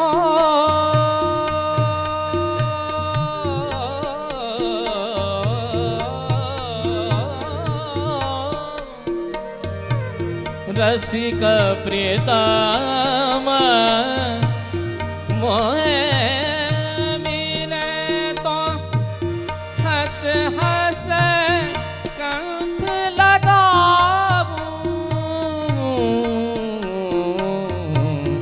पलकनो मगरु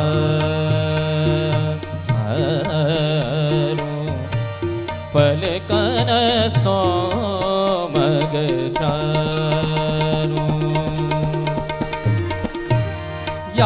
मग मे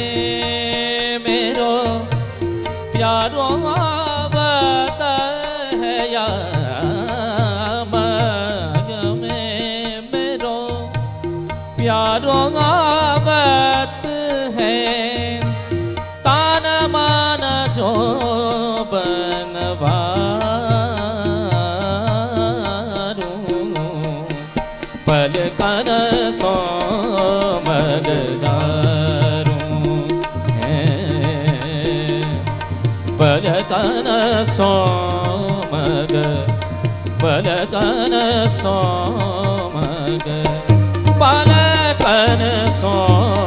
मग पलकन सो मग झारूं, जामग में मेरो प्रिय आवत है, तन मन जो बनवारूं। और वही वस्तु हिराय जी ने कही, श्री वल्लभ आवत मैं सुने, कछु नियरे, कछु दूर, इन पलकन सो मग झार बज गलियन की धूल। ये बात चौबीसवीं साखी में श्रवण करके आगे, पच्चीसवीं साखी का श्रवण करें, जिसके अंदर राय महाप्रभु जी अपने स्नेह की बात करते हुए आगे कह रहे हैं।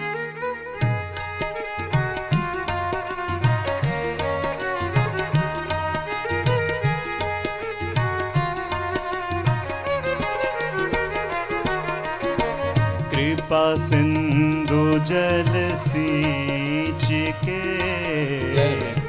राख्यो जीवन मोह। कृपा सिंधु जल सींच के राखो जीवन मोह। स्नेह बिना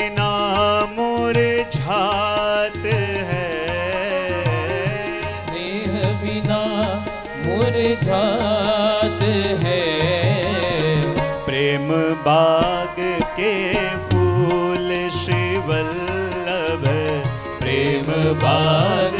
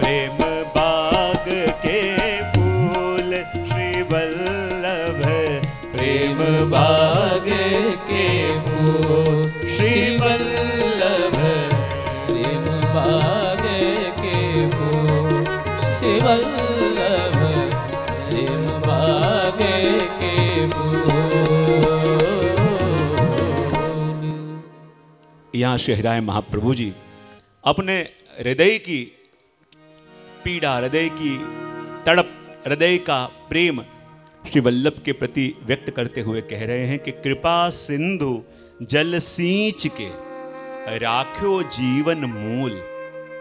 कृपा सिंधु जल सींच के राख्यो जीवन मूल। बोले, श्री वल्लभ कैसे हैं? बोले, कृपा के सागर।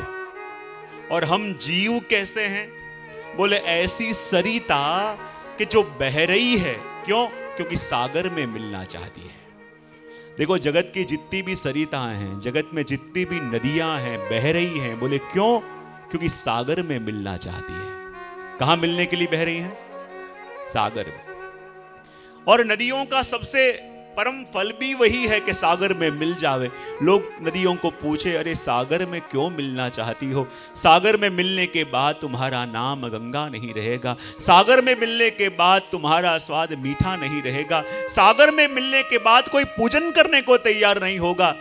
फिर भी नदियाँ कहती हैं कि अपने अस्तित्व को सागर में विलीन कर देना वही सरिता की फलश्रुति है। लेकिन नदियाँ जब बहती हैं तो सागर से मिलने बहती हैं, लेकिन कई नदी ऐसी हैं जो सागर से मिलने के लिए बह तो रही हैं, लेकिन रास्ते में रेगिस्तान आ जाता है। और रेगिस्तान यानी क्या? ये संसार। रेगिस्तान यानी क्या? संसार। और जब वो नदियाँ सागर को मिलने के लिए निकलती हैं और बीच में संसार का रेगिस्तान आता है तो उस रेगिस्तान की गर्मी से वो सरिताएँ सूख जाती है। और सरिताएँ सूख जाती हैं तो सागर से मिलने के लिए जो वेग चाहिए, वो वेग सरिताओं में रहता नहीं है। और आज वही दशा अपनी है, ऐसा लगता नहीं है। हुँ? सागर से मिलना चाहते तो हैं, सागर से मिलने का प्रयत्न करते तो हैं, लेकिन आके कहीं ना कहीं बहुत बढ़िया, अटक जाते हैं। कहीं ना कहीं अटक जाते हैं, आगे जा नहीं सकते, आगे बढ़ नहीं सकते। तो कहते हैं कि जब सरिता सागर को मिलने के लिए यत्न करती है, जब सरिता सागर को मिलने के लिए जाती है, लेकिन जा नहीं पाती, रस्ते में आए रेगिस्तान के अंदर जब वो सूख जाती है तो देखो जो सरिताएँ सागर को मिलने के लिए तड़प रही हैं तो वो सागर के मन में क्या सरिताओं को मिलने की तड़प न होगी? जो सरिताएँ सागर को मिलना चाहती हैं, लेकिन मिलने जा नहीं सकती। तो क्यों सागर ना? उनको याद करे। तो देखो, जब ये सरिताएँ सागर को मिलने के लिए बहती हैं, जाती हैं, लेकिन संसार के रेगिस्तान में जब उनका जल सूख जाता है तो आगे जा नहीं पाती और इतना वियोग होता है, इतना ताप होता है कि, हे कृपा सागर, हम तो आपको मिलने के लिए निकले, लेकिन रस्ते में ही संसार के ताप में सूख गए। आपकी ओर आ नहीं सकते, हम तो आपकी ओर नहीं आ सकते, लेकिन क्या आप हमारे पास नहीं आ सकते? तो क्या सागर को भी उन सरिताओं के पास जाने का मन होता होगा कि नहीं? जो सरिताएँ सागर को मिलने के लिए तड़पती हैं, जो सरिताएँ सागर को मिलने के लिए बहती हैं, लेकिन जब रस्ते में अटक जावे तो क्या सागर के मन में भी करुणा नहीं आती होगी कि वो तो नहीं आ सकती, पर मैं उनके पास जाऊँ? तो क्या सागर भी सरिता को मिलने जाता है? जाता है। बोले, कैसे? जब सरिताएँ मिलने के लिए बहती हैं, लेकिन उनका जल सूख जाता है और विलाप करती है कि देखो, हम तो आपको मिलने के लिए आए, पर संसार के ताप में सूख चुके हैं। अब तो हम आपके पास नहीं आ सकते, पर क्या आप हमारे पास नहीं आ सको? और जब संसार के ताप में सूखी हुई सरिताओं की पुकार, वो सागर सुनता है। सागर विचार करे, मैं तो नहीं जा सकता, पर क्या करूँ कि वो सरिता मुझ तक आ पावे? तो वही सागर का जल बादल बन के जाता है सरिताओं के ऊपर और जाके इतना बरसता है, इतना बरसता है कि सूखी सरिता के अंदर बहाड़ आती है और बहाड़ का रूप लेके बहती बहती जाके वो पुनः सागर से मिल जाती है। वैसे ये सत्संग सरिता के अंदर, श्री वल्लभ तो कृपा सागर हैं। और हमारी दशा उस सरिता की तरह है, जो वल्लभ को मिलने के लिए बहती तो है, पर इस संसार के रेगिस्तान में आके उसका जल सूख जाता है। और निश्चित हम सरिताओं ने विचार किया होगा कि प्रभु, हम तो आपके पास आ नहीं सकते। क्या आप हमारे पास ना आओ? और वो कृपा सिंधु के मन में, उस कृपा सिंधु रूपी वल्लभ के मन में हम सरिताओं के लिए करुणा जागी और ये सत्संग रूपी बादल बन के यहाँ पे आए कि ऐसे बरसे ऐसे बरसे कि इन सूखी सरिताओं के अंदर इतना प्रेम का बहाड़ आवे कि बहते बहते जाके उस रस सागर से मिल जाए और वही तो उसकी फलरूपता है। इसने कह दिया कि कृपा सिंधु जल सींच के राख्यो जीवन मूल। कहते हैं कि जब किसी से मिलने की तड़प होती है तो ये विरह भी एक प्रकार की बेल होती है जो हृदय में जागती है। और गोपियाँ कहती है, ना प्रभु, कि हमारे हृदय के अंदर आपको मिलने की एक विरह लता जाग रही है।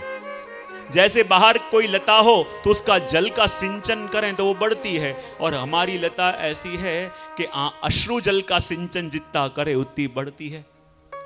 जब बाहर की लता को सूरज का ताप मिले, तब वो पल्लवित तो हो और हम जब आपके वियोग के अंदर तपें तब ये पल्लवित तो होती है। लेकिन जब तक ये सरिता, ये लता को सच्चे अर्थ में वृष्टि भी मिले, ताप भी मिले, लेकिन उसके मूल में सिंचन न हो तो उग नहीं पाती।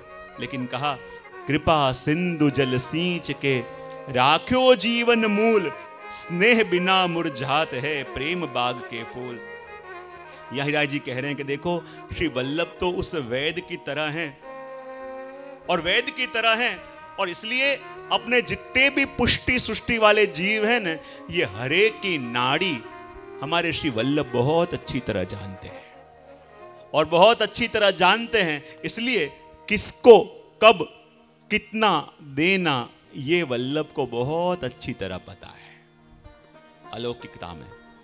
हम सब जानते हैं, हम सब प्रयत्न करते हैं, लेकिन वल्लभ के हाथ में हम सब की नाड़ी है। और नाड़ी है तो जिस वस्तु के लिए अपन तैयार न हो, वो वस्तु अपन को मिल जावे तो क्या झील पावे? हाँ के ना तो बोलो। हाँ? जिस वस्तु के लिए अपन तैयार न हो, वो वस्तु हमको मिल जावे तो अपन झील ना पावे। इसलिए हरियाई जी कहते हैं कि वल्लभ के हाथ में सबकी नाड़ी है और वल्लभ जानते हैं कि जब जीव का अधिकार सिद्ध हो, जब जीव के अंदर पात्रता आवे, तभी उसको वो वस्तु प्राप्त होती है। और मैं अपने प्रवचनों में ये वाक्य बार बार कहता हूँ कि आध्यात्मिक पथ का सबसे बड़ा सनातन सत्य, आध्यात्मिक पथ का सबसे बड़ा सनातन सत्य ये है कि जिस वक्त, जिस समय जिस वस्तु के योग्य अपन हो जाते हैं तो वस्तु कहीं से भी हमको मिले बिना रह नहीं सकती। पर अभी तक वस्तु मिली न हो तो प्रभु को फरियाद न करें। ये माने अभी तक वस्तु पाने की योग्यता नहीं आई। क्योंकि तैयारी नहीं होगी और वस्तु मिल जाएगी तो झील नहीं पाओगे। अभी तक घड़ा पका नहीं है और कच्चे घड़े में पानी भर दिया तो घड़ा फूटेगा। घड़े को तपाना पड़ता है। जब गढ़ा तपता है तो पात्रता आती है, और जब पात्रता आती है तो जो मिले वो टिकता है। और इसलिए कह दिया कि कृपा सिंधु जल सींच के राख्यो जीवन मूल, स्नेह बिना मुरझात है, प्रेम बाग के फूल। के प्रभु ये लता जो आपके प्रेम की हमारे हृदय में जागी है, जो आपका प्रेम न मिला तो ये लता मुरझा जाएगी। कृपा करके आप अपनी कृपा वृष्टि का दान दे के हमारे इस पुष्प को पुनः नव पल्लवित करो, ऐसी विनती या हरियाय महाप्रभु जी ने। इस साखी में करी, और जब जब भी पच्चीसवीं साखी में कहता हूँ, सिर्फ़ उसका अनुवाद करता हूँ, ज़्यादा व्याख्या नहीं करता। इसलिए, क्योंकि मैं ये मानता हूँ, मुझे ऐसा लगता है कि देखो, ये वल्लभ साखी गाय किसने है? किन्ने? श्री हरिराय जी ने। किसके लिए गाई? श्री महाप्रभु जी के लिए। अब देखो जो दो प्रेम करने वाले परस्पर अपनी बातें एक दूसरे से कहते हैं ना तो उसमें कुछ सांकेतिक शब्द होते हैं। और वो सांकेतिक शब्द वही समझ पाते हैं जो एक दूसरे से प्रेम करते हो। सुनने वाले को पता ना चले, दो प्रेम करने वाले बैठे हो, इशारे में कि क्या बात कर ले, किसी को पता ना चले। तो यहाँ हरिराय महाप्रभु जी ने अपने हृदय की पीड़ा कही है। किसको? बोले श्री महाप्रभु जी को। तो मुझे ऐसा लगता है कि इस साखी का मूल अर्थ क्या? वो दुनिया में सिर्फ़ दो ही जने जानते हैं। एक तो हरिराय जी के जिन्होंने गाया और दूसरे श्री महाप्रभु जी के जिनके लिए गाया। और इसलिए इस साखी का अलग कुछ अर्थ करने जाऊँ तो मुझे लगे कि कहीं अन्याय ना हो जाए। इसलिए साखी का सिर्फ़ अनुवाद ही मैं करता हूँ। क्योंकि जब हरिराय जी और वल्लभ कृपा करें तो इस साखी के भाव हृदय में स्फुरित होते हों। बाकी अन्य भाव करने का अधिकार अपना नहीं है। इसलिए पच्चीसवीं साखी को यहीं पे विराम दे के आगे छब्बीसवीं साखी का दर्शन करें कि जिसके अंदर वर्णन करते हुए शेहराय जी कह रहे हैं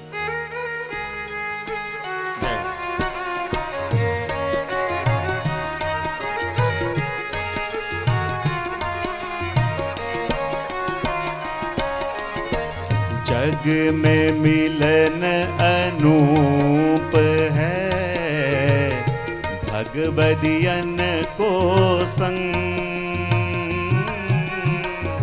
जग में मिलन अनूप है। भगवतियन को संग। तिनके संग प्रताप संग प्रताप ते होते शाम सोरंग श्री वल्लभ होते सो रंग। जय हो।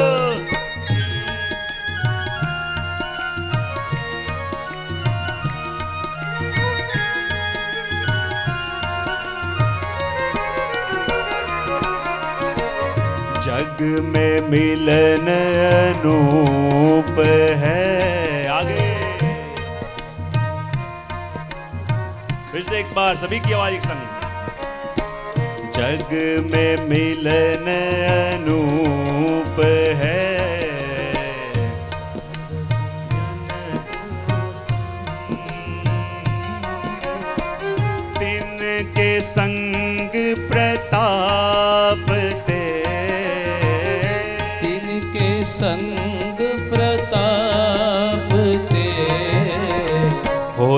होत शाम सोरंग श्री वल्लभ होत शाम सोरंग श्री वल्लभ होत श्याम सोरंग श्री वल्लभ होत श्याम सोरंग छब्बीसवीं साखी में श्री हरिराय महाप्रभु जी भगवती के स्वरूप को बताते हुए कह रहे हैं कि जग में मिलन अनूप है। भगवदियन को संग। जग में मिलन अनूप है। भगवदियन को संग। तिन के संग प्रताप ते होत शाम सो रंग शेहराई जी कहते हैं, देखो, जगत में अपन रोज किसी न किसी से मिलते हैं। रोज किसी न किसी से मुलाकात होती है। रोज किसी न किसी से मिलन होता है, लेकिन हरेक मिलन को हरेक मुलाकात को आप किसी न किसी की उपमा दे सकते हो। लेकिन कहते हैं कि जब भगवदी से मिलन होता है, जब भगवदी से मिलना होता है तो वो मिलन ऐसा है कि जग में मिलन अनूप है। अनूप यानी जिस मिलन की कोई उपमा नहीं दे सकता, जिसका कोई वर्णन नहीं कर सकता। ऐसा मिलन है भगवदियों का मिलन। बोले क्यों? क्योंकि तिनके संग प्रतापते होत शाम सो रंग। क्योंकि जिनके संग मात्र से प्रभु का रंग लगे बिना रह नहीं सकता। अब देखो, भगवदी यानी कौन? और भगवदियों के संग से। देखो, जगत के अंदर संग का बड़ा महत्व मैं कई हम हमेशा कहता हूँ ना कि अपन जैसे भी हैं, सुखी या दुखी, अपन जैसे ही हैं, आनंदित या दुखी, अपन जैसे ही हैं, सफल या असफल, उसका कारण और कोई नहीं, उसका कारण एकमात्र अपन ने किसका संग किया? ये संग का ही प्रभाव होता है। हम जैसे भी हैं, जो भी हैं, हमें जीवन में मिले संग के कारण। छोटी सी बात आपको बताऊँ। एक कागज़ है, कागज़ का एक जो टुकड़ा है कि जो एक ही जगह छपा है, वो कागज़ गया न्यूज़पेपर छपने के लिए। और न्यूज़पेपर छपने के लिए गया तो न्यूज़पेपर छप के आया, सुबह आपने पढ़ लिया और शाम को कुछ बांधने के अंदर पैकिंग के लिए काम आया। और वही कागज़ जो जिस फैक्ट्री में छपा था, एक तो न्यूज़पेपर बना, सुबह पढ़ा और शाम को रद्दी में गया और वही न्यूज़, कागज़ का टुकड़ा। एक गया गीता प्रेस, गोरखपुर की प्रेस में, और वहाँ गीता और भागवत छप के आया तो सदा उसको आप माथे पे लेके चलते हो, उसका पूजन करते हो। तो एक ही जगह से निकला हुआ कागज़, जिसका संग किया उसकी ऐसी कदर हुई। जिसका संग किया, ऐसा उसका जीवन बना। तो इस जगत में अपन जो भी कुछ है, हमारे मन के अंदर जो भी कुछ चल रहा है, देखो, जब दिव्यता आती है, ना तो सब अच्छा दिखता है। दिव्यता आती है तो सब में कुछ ना कुछ अच्छा ढूंढ लेते हैं। और यदि बुराइयाँ आ रही हैं तो हर एक के अंदर ही वो एक खोटा, वो खोटा वो खोटा। जब ऐसा, जब सब कुछ गलत दिखने लगे, तब मानो ये इमरजेंसी केस हो गया है। तो जग में मिलन अनूप है, भगवदियन को संग। और भगवदी यानी कौन? बोले, भगवदी यानी अनुभवी। और अनुभवी का संग जब हो जावे क्योंकि देखो भगवतियों का संग यानी क्या अनुभवी? और अनुभवी का संग करो ना तो वो अपने अनुभव से अपन को उस पथ पे ले जावे कि जहाँ वो पहुँच चुके हैं। और इसलिए तो कहते हैं, श्री गोकुलनाथ जी उनके हास्य वचनामत में कहते हैं ना, कि देखो जो अनुभवी है, वो अनुभवी के संग का प्रभाव अपने ऊपर आए बिना रह नहीं सकता। श्री गोकुलनाथ जी अपने हास्य वचनामत में कहते हैं कि तीन मित्र थे और वो लकड़ी काटने का काम करते। एक दिन दो मित्र ना आए, एक को कहा कि तू अकेला लकड़ी काटने के लिए जा। अब वो लकड़ी काटने के लिए गया, बड़ा सा पेड़ था, उसे लगा कि पहले नीचे खड्डा खोदूं। और जैसे ही उसने खड्डा खोदा तो नीचे से कपड़े की पोटली निकली। बेचारा बड़ा गरीब था। उसने कहा, ये कपड़े की पोटली में क्या है? जैसे खोला तो क्या देखा? अंदर सोने की मोहरें थी। अब सोने की मोहरें देखी उसने, वो तो बड़ा प्रसन्न हो गया। अरे देखो, प्रभु ने कैसी कृपा मेरे पे कर दी, कैसा अनुग्रह किया कि जैसे ही मैंने खड्डा खोदा और कपड़े की पोटली निकली और उसमें सोने की मोहरें निकली, अब तो मेरा पूरा जीवन बदल जाएगा, मेरा जीवन पूरा सुखी हो जाएगा। लेकिन कितने बरसों से अंदर होंगी, उसमें काफ़ी मिट्टी लगी हुई थी। तो उसने कहा, ऐसे करूँ, मिट्टी जो है, वो मैं सामने नदी बह रही है तो नदी में जाके सोने की मोहरों को धो लूँ। और शुद्ध हो जाए, फिर घर लेके सबको बताऊँगा, देखो, मुझे इतनी सोने की मोहरें मिली है। भागता हुआ सामने की नदी में गया, उस पोटली का एक छोर तो उसने अपने गले में टंगाया, एक छोर पकड़ा और मोहरों को धोने के लिए जैसे ही उसने वो पोटली को डुबोया पानी के अंदर, एक ऐसा झटका लगा कि ये छोर बह गया पानी में और उसके संग नदी के प्रवाह में वो सारी सोने की मोहर बह गई। और ये बात का इतना आघात उसको लगा कि सब कुछ वो भूल गया। सिर्फ़ एक ही वाक्य बोलने लगा कि खोनी थी तो पाई क्यों? चलता चलता घर गया, पत्नी ने कहा, आ गए? बोले, खोनी थी तो पाई क्यों? बोले, आज शाम को क्या खाओगे? बोले, खोनी थी तो पाई क्यों? बोले, कहो तो सही, क्या हुआ? बोले, खोनी थी तो पाई क्यों? अब पत्नी पूछ पूछ के थक गई, बोले, हुआ क्या? ये तो बताओ। बोले, खोनी थी तो पाई क्यों? बोले, कहो तो सही, क्या हुआ? बोले खोनी थी तो पाई क्यों? अब उसे लगा कि ज़रूर कोई वहाँ गए हैं और कोई भूत भूत लग गया है इसको। तो एक ही बात बोल रहा है, सुई अटक गई है खोनी थी तो पाई क्यों खोनी थी तो पाई क्यों? उसके दूसरे दोस्त को बुलाया जो उस दिन संग में नहीं गया था। बोले, देखो ये तुम्हारे भाई जब से आए हैं, तब से बिल्कुल पागलों जैसी बात कर रहे हैं। कुछ भी पूछो तो कहे खोनी थी तो पाई क्यों? आप इससे पूछो कि हुआ क्या है? उसके दोस्त ने उससे कहा कि अरे भैया, बता तो सही, क्या हुआ? बोले, खोनी थी तो पाई क्यों? अरे, कह तो सही, क्या हुआ? बोले, खोनी थी तो पाई क्यों? उसने उसको साइड में ले गया और कहा, तू मुझे बता रहा है कि क्या क्या हुआ? बता मुझे क्या हुआ? वरना अभी कभी तुझे मारूँगा। और जहाँ धमकी दी तो उसने उसका सारा प्रसंग उसको सुनाया कि ऐसे मुझे सोने की मोहर मिली, ऐसे मैं पानी में धोने गया और जैसे ही पानी में धोने गया और सारी मोहरें बह गई और जब ये उसने सुना, उसका मित्र भी पागल हो गया। पहला मित्र बोले कि, खोनी थी तो पाई क्यों? और दूसरा बोले, पाई तो पाई पर धोई क्यों? जैसे ही उसकी पत्नी के पास गया, उसने कहा, अपने भाई को समझा दिया। बोले, पाई तो पाई पर धोई क्यों? बोले, कहो तो सही, क्या हुआ? बोले, पाई तो पाई पर धोई क्यों? पहला वाला बोले, खोनी थी तो पाई क्यों? और ये बोले, पाई तो पाई पर धोई क्यों? पूरे गाँव के लोग परेशान हो गए। इसको पूछे, क्या हुआ? ये बोले, खोनी थी तो पाई क्यों? और दूसरे से पूछे, दूसरा के पाई तो पाई पर धोई क्यों? लोग समझा समझा के थक गए, अरे कुछ तो बोलो, कुछ तो बोलो। तो पहला बोले खोनी थी तो पाई क्यों? और दूसरा बोले कि, पाई तो पाई, पर धोई क्यों? बोले, इसका तीसरा मित्र है, वही दोनों को समझा पाएगा। उसको समझा बुझा के बेचारे को बुलाया कि, दोनों को समझाओ। उसने पूछा पहले से, अरे भैया, बता तो क्या चक्कर क्या है? बोले खोनी थी तो पाई क्यों? दूसरे से कहा, तू तो बता। बोले, पाई तो पाई, पर धोई क्यों? अब दोनों बार बार पूछे, पर दोनों यही उत्तर दें। अब तीसरा भी कंटाल गया। दोनों को लेके गया और तलवार निकाल के बोला कि तुम बताते हो कि नहीं, क्या हुआ? नहीं बताओगे तो अभी दोनों को मार दूँगा। और दोनों ने मिलके पूरा प्रसंग उसको सुनाया और सुनते ही उसका भी छटक गया। पहला बोले, खोनी थी तो पाई क्यों? दूसरा बोले, पाई तो पाई पर धोई क्यों? और तीसरा बोले, धोई तो धोई पर खोई क्यों? सारे गाँव के लोगों ने तीसरे मित्र से कहा, अरे भैया, दोनों को समझा दिया। बोले, पाई तो पाई, पर धोई क्यों? दूसरा बोले, दूसरा के तुमने समझाया? बोले, धोई तो धोई, पर खोई क्यों? अब तीनों पागल हो गए। अब देखो, यहाँ गोकुलनाथ जी कहते हैं कि इसमें सोना, मोहर मिली किसको थी? पहले को। सोना, मोहर देखी किसने थी? पहले ने। खोई किसने? पहले ने। यानी अनुभवी कौन हुआ? बोले, पहला। लेकिन जिसने खोया, जिसने देखा, वो पागल हुआ, ये तो समझ में आवे। लेकिन दोनों ने तो मात्र सुना तो वो सुन के भी पागल क्यों हो गए?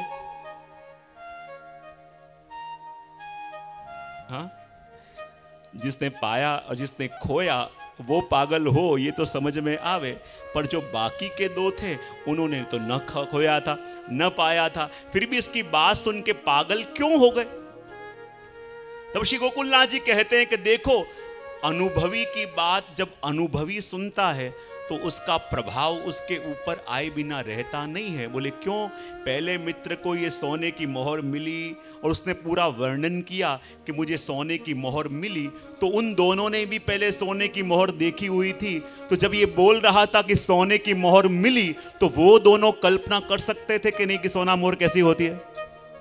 हाँ या ना? क्योंकि उन्होंने देखी थी। अनुभवी थे पहले ने कहा कि सोना मोहर मिली और मैं पानी में धोने के लिए गया नदी में तो वो नदी भी उन्होंने देखी हुई थी तो नदी की कल्पना, जब ये वर्णन करता तो कर सकते थे कि नहीं? हाँ या ना? और जब उसने कहा कि नदी में ये मोना, सोना मोहरे बह गई तो नदी उन्होंने देखी थी, सोना मोहर देखी थी तो जब पहले ने वर्णन किया तो बाकी के दो, वो कल्पना अनुभव कर सके कि नहीं कि पानी में कैसे बह गई होगी? हम्म यदि बाकी के दोनों ने सोना मोर कभी देखी न होती या नदी देखी न होती तो पहले वाले के अनुभव की बात का प्रभाव इन दोनों पे ऐसे होता कि जैसे अभी हुआ। नहीं, बोले क्यों? क्योंकि ये दोनों भी अनुभवी थे। और अनुभवी थे तो अनुभवी की बात को समझ सके और जान सके। वैसे ही भगवदियों का संग यानी क्या? बोले अनुभवियों का संग। और अनुभवी का संग मिला और अपन भी लीला के जीव हैं तो कभी ना कभी वो अनुभव अपन ने भी किया है, कभी ना कभी वो देखा है। और अनुभवी जब अपने अनुभव की बात करे तो उसका प्रभाव भी आपके ऊपर आए बिना रह नहीं सकता।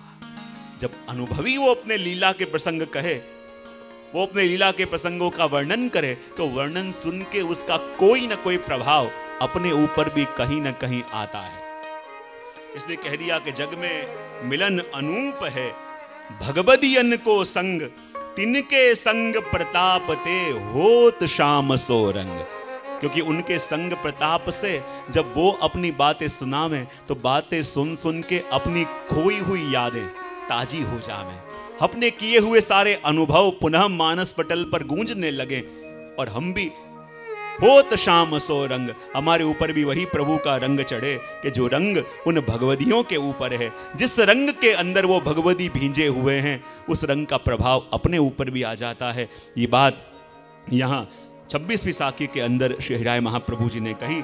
ये संक्षिप्त में देख के आगे सत्ताईसवीं साखी का दर्शन करें कि जिसके अंदर वर्णन करते हुए वही भगवदियों की बात आगे बढ़ाते हुए हिराय जी कह रहे हैं।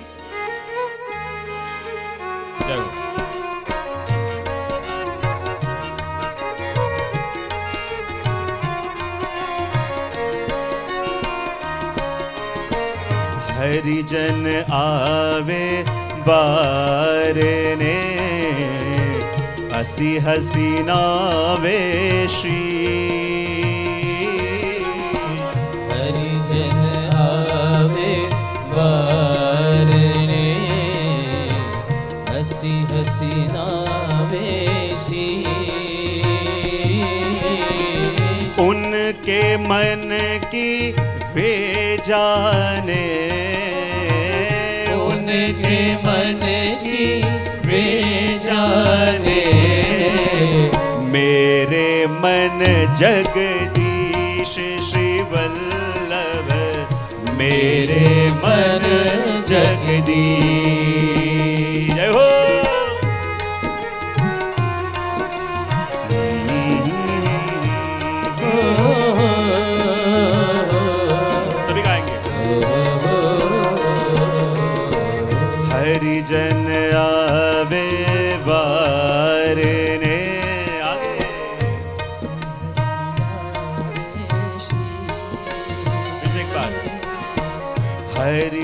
हरिजन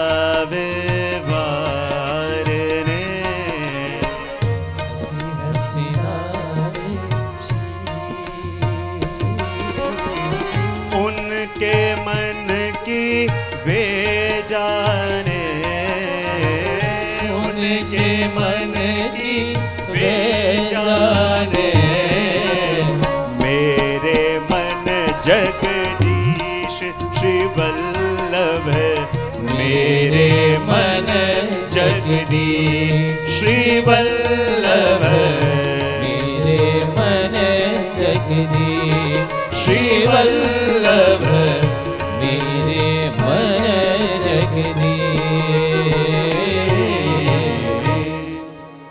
सत्ताईसवीं साखी के अंदर शहराय महाप्रभु जी कह रहे हैं कि हरिजन आवे वार ने, हसी हसी नावे शीश।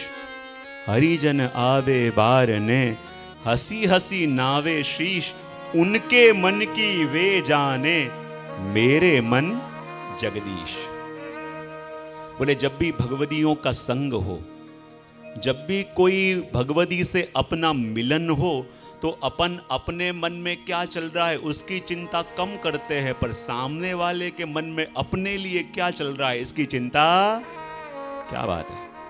ये अनुभवियों के आगे बोलने का फल है कि मेहनत आधी करनी पड़ती है इशारों में समझ जाते हैं क्योंकि जिसका भी संग अपन करते हैं वहां अपने मन में क्या चल रहा है उसकी चिंता कम શું વિચારતા હશે મારા માટે ये ये चिंता थोड़ी ज्यादा होती है तो कहते हैं कि जब हरिजन आवे वार ने हंसी हंसी नावत शीश जब भी भगवदियों का मिलन हो जब भी वैष्णव का संग हो तो हंस हंस के मस्तक झुका के उनका अभिवादन करो। उसके मन में जो चलता हो चलता हो। उसके मन में जो हो के ना हो, पर मेरे घर में वैष्णव आ या मेरे लिए तो जगदीश पधारे हैं। विचार करो कि जब वो राजा, वैष्णव राजा थे और एक बहुत बड़ा बहरूपिया आया और अलग अलग स्वांग लेता और जब स्वांग लेके अभिनय करता तो बड़े बड़े लोग भी दंग रह जाते उसका अभिनय देख के। और जब राजा के दरबार में आया कि बड़े गुणीजन है राजा, और मैं अपनी इस वेश बदलने की कला से राजा को प्रभावित करूँगा। राजा के सामने चक्रवर्ती सम्राट का वेश लेके आया, और बिल्कुल राजा की तरह बोलने लगा। तलवार निकाली और इस तरह से बोले कि सारे सभासदों को लगा कि ज़रूर कोई चक्रवर्ती सम्राट आज पधार है सब लोग खड़े हो गए। ऐसा अभिनय उसका कि सब लोग बड़े बड़े ज्ञानी भी दंग रह गए। लेकिन राजा तो चुपचाप अपनी दृष्टि नीचे करके अष्टाक्षर का स्मरण कर रहा था। वो बहरूपिया बार बार अलग अलग संवाद बोले अलग अलग प्रकार का अभिनय करे, लेकिन राजा के ऊपर जब कोई प्रभाव न देखा, लज्जित हुआ। बोले, राजा को मैं प्रभावित करके रहूँगा। जाके कोई ज्ञानी का वेश लेके आया, कोई महात्मा बन के आया और जैसे संस्कृत के श्लोक बोलने लगा, वेद मंत्र बोलने लगा, वो देख के सारे सभासद फिर से दंग रह गए कि ज़रूर कोई बहुत बड़े ज्ञानी आए हैं। सब लोग खड़े हो गए। उनको मान देने लगे, लेकिन राजा तो दृष्टि नीचे करके बैठे हैं। उनको लगा कि मेरा अभिनय देख के सारे बड़े बड़े सभा के अंदर रहे ज्ञानी दंग रह गए। सब लोग खड़े हो गए, लेकिन राजा के ऊपर मेरा प्रभाव क्यों नहीं आ रहा? अनेक रूप बदले, अनेक स्वांग लिए लेकिन राजा को जब प्रभावित होते न देखा, तब किसी ने बताया कि ये राजा तो वैष्णव है। और जब ये जाना कि राजा वैष्णव है, और तब उस बहरूपिये ने सारे रूप बदले और वैष्णव का रूप लिया। सुंदर सफ़ेद धोती बंडी धारण करी, मस्तक पे तिलक धारण किया, हाथ में गौमुखी की माला ली और जहाँ भगवत स्मरण करते करते राजा के महल में घुसे और अभी वैष्णव को देख के राजा ने अपनी दृष्टि ऊपर करी और देखा कि मेरे आँगन में कोई वैष्णव आए हैं और अपनी सिंहासन पर से उतर के भागता भागता गए और जाके उस वैष्णव को हृदय से लगाया। और जैसे हृदय से लगाया, सब लोग कहने लगे, अरे, ये वैष्णव नहीं, ये तो कोई बहरूपिया है। तो राजा ने कहा कि उनके मन की वे जाने, मेरे मन जगदीश। वो क्या बन के आए हैं, क्या सोच के आए हैं, उनके मन की वो जाने। पर मेरे आँगन में तो कोई वैष्णव आए तो वैष्णव के रूप से स्वयं जगदीश मेरे आँगन में पधारे हैं, स्वयं प्रभु मेरे आँगन में पधारे हैं। इसलिए तो कह दिया कि हरिजन आवे वार ने, हँसी हँसी नावे शीश, उनके मन की वे जाने। उनके मन में क्या चल रहा है, इसकी फ़िक्र अपन क्यों करें? बस वैष्णव के रूप में आए हैं। एक वैष्णव के रूप से अपना परिचय दिया है तो अपने लिए तो स्वयं प्रभु पधारे हैं। ऐसा शहराय महाप्रभु जी ने इस 27वीं साखी के अंदर वर्णन किया और आगे 28वीं साखी के अंदर उसे विषय को आगे बढ़ाते हुए हिराय जी कह रहे हैं।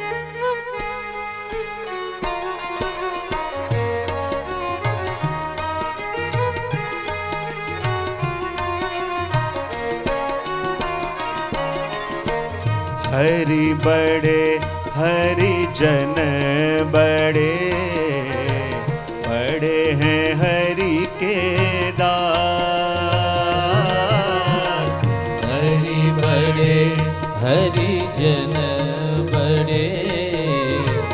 बड़े हैं हरि के दास। हरि जन सो हरि पावही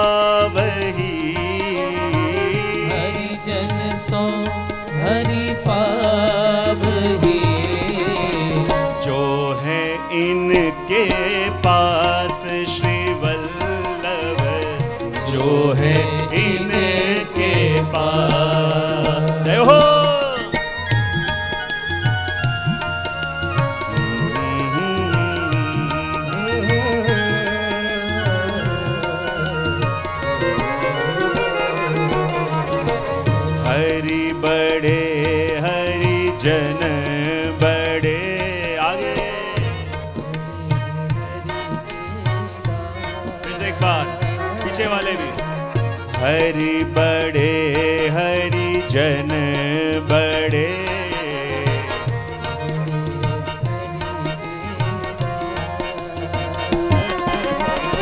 हरि जन सो हरि पावही। हरि जन सो हरि पावही।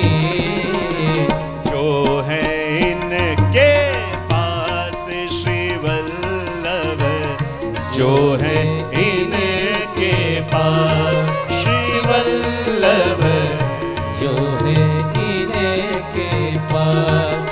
श्री वल्लभ जो है इनके पास। अट्ठाईसवीं साखी के अंदर श्री हरिराय जी कह रहे हैं कि हरि बड़े, हरिजन बड़े। हरि बड़े या हरिजन बड़े। दोनों में यदि चर्चा करें तो प्रभु में और प्रभु के भक्तों में अधिक बड़ा कौन? तो हरिराय जी कहते हैं, हरि बड़े हरिजन बड़े बड़े हैं हरि के दास। हरिजन सो, हरि पावही, जो है हरि इनके पास। देखो प्रभु और प्रभु के भक्त। दोनों में यदि चर्चा करनी पड़े कि दोनों में बड़ा कौन तो सिर्फ़ ये देखने का कि दोनों में स्वतंत्र कौन है और आधीन कौन है। दोनों में क्या देखने की बात मैंने करी? प्रभु में और प्रभु के भक्तों में स्वतंत्र कौन है और आधीन कौन है? कौन है? स्वतंत्र कौन है दोनों में? हम्म? भगवान और भगवान के भक्तों में स्वतंत्र कौन है और आधीन स्वरूप कौन है? अब देखो, एक सिंपल बात आपको बताऊँ। जिसके पास चॉइसेस हैं, वो स्वतंत्र है। और जिसके पास कोई चॉइसेस रही ना हो, वो आधीन है। तो भक्त और भगवान दोनों में से चॉइसेस अधिक किसके पास है? भगवान के पास के भक्तों के पास। अब देखो, आपको कहीं बाहर जाना हो, आप रोज सवेरे ठाकुर जी की मंगला, ठाकुर जी को सात बजे जगाते हो। लेकिन बाहर गाँव जाना हो, भले संडे हो।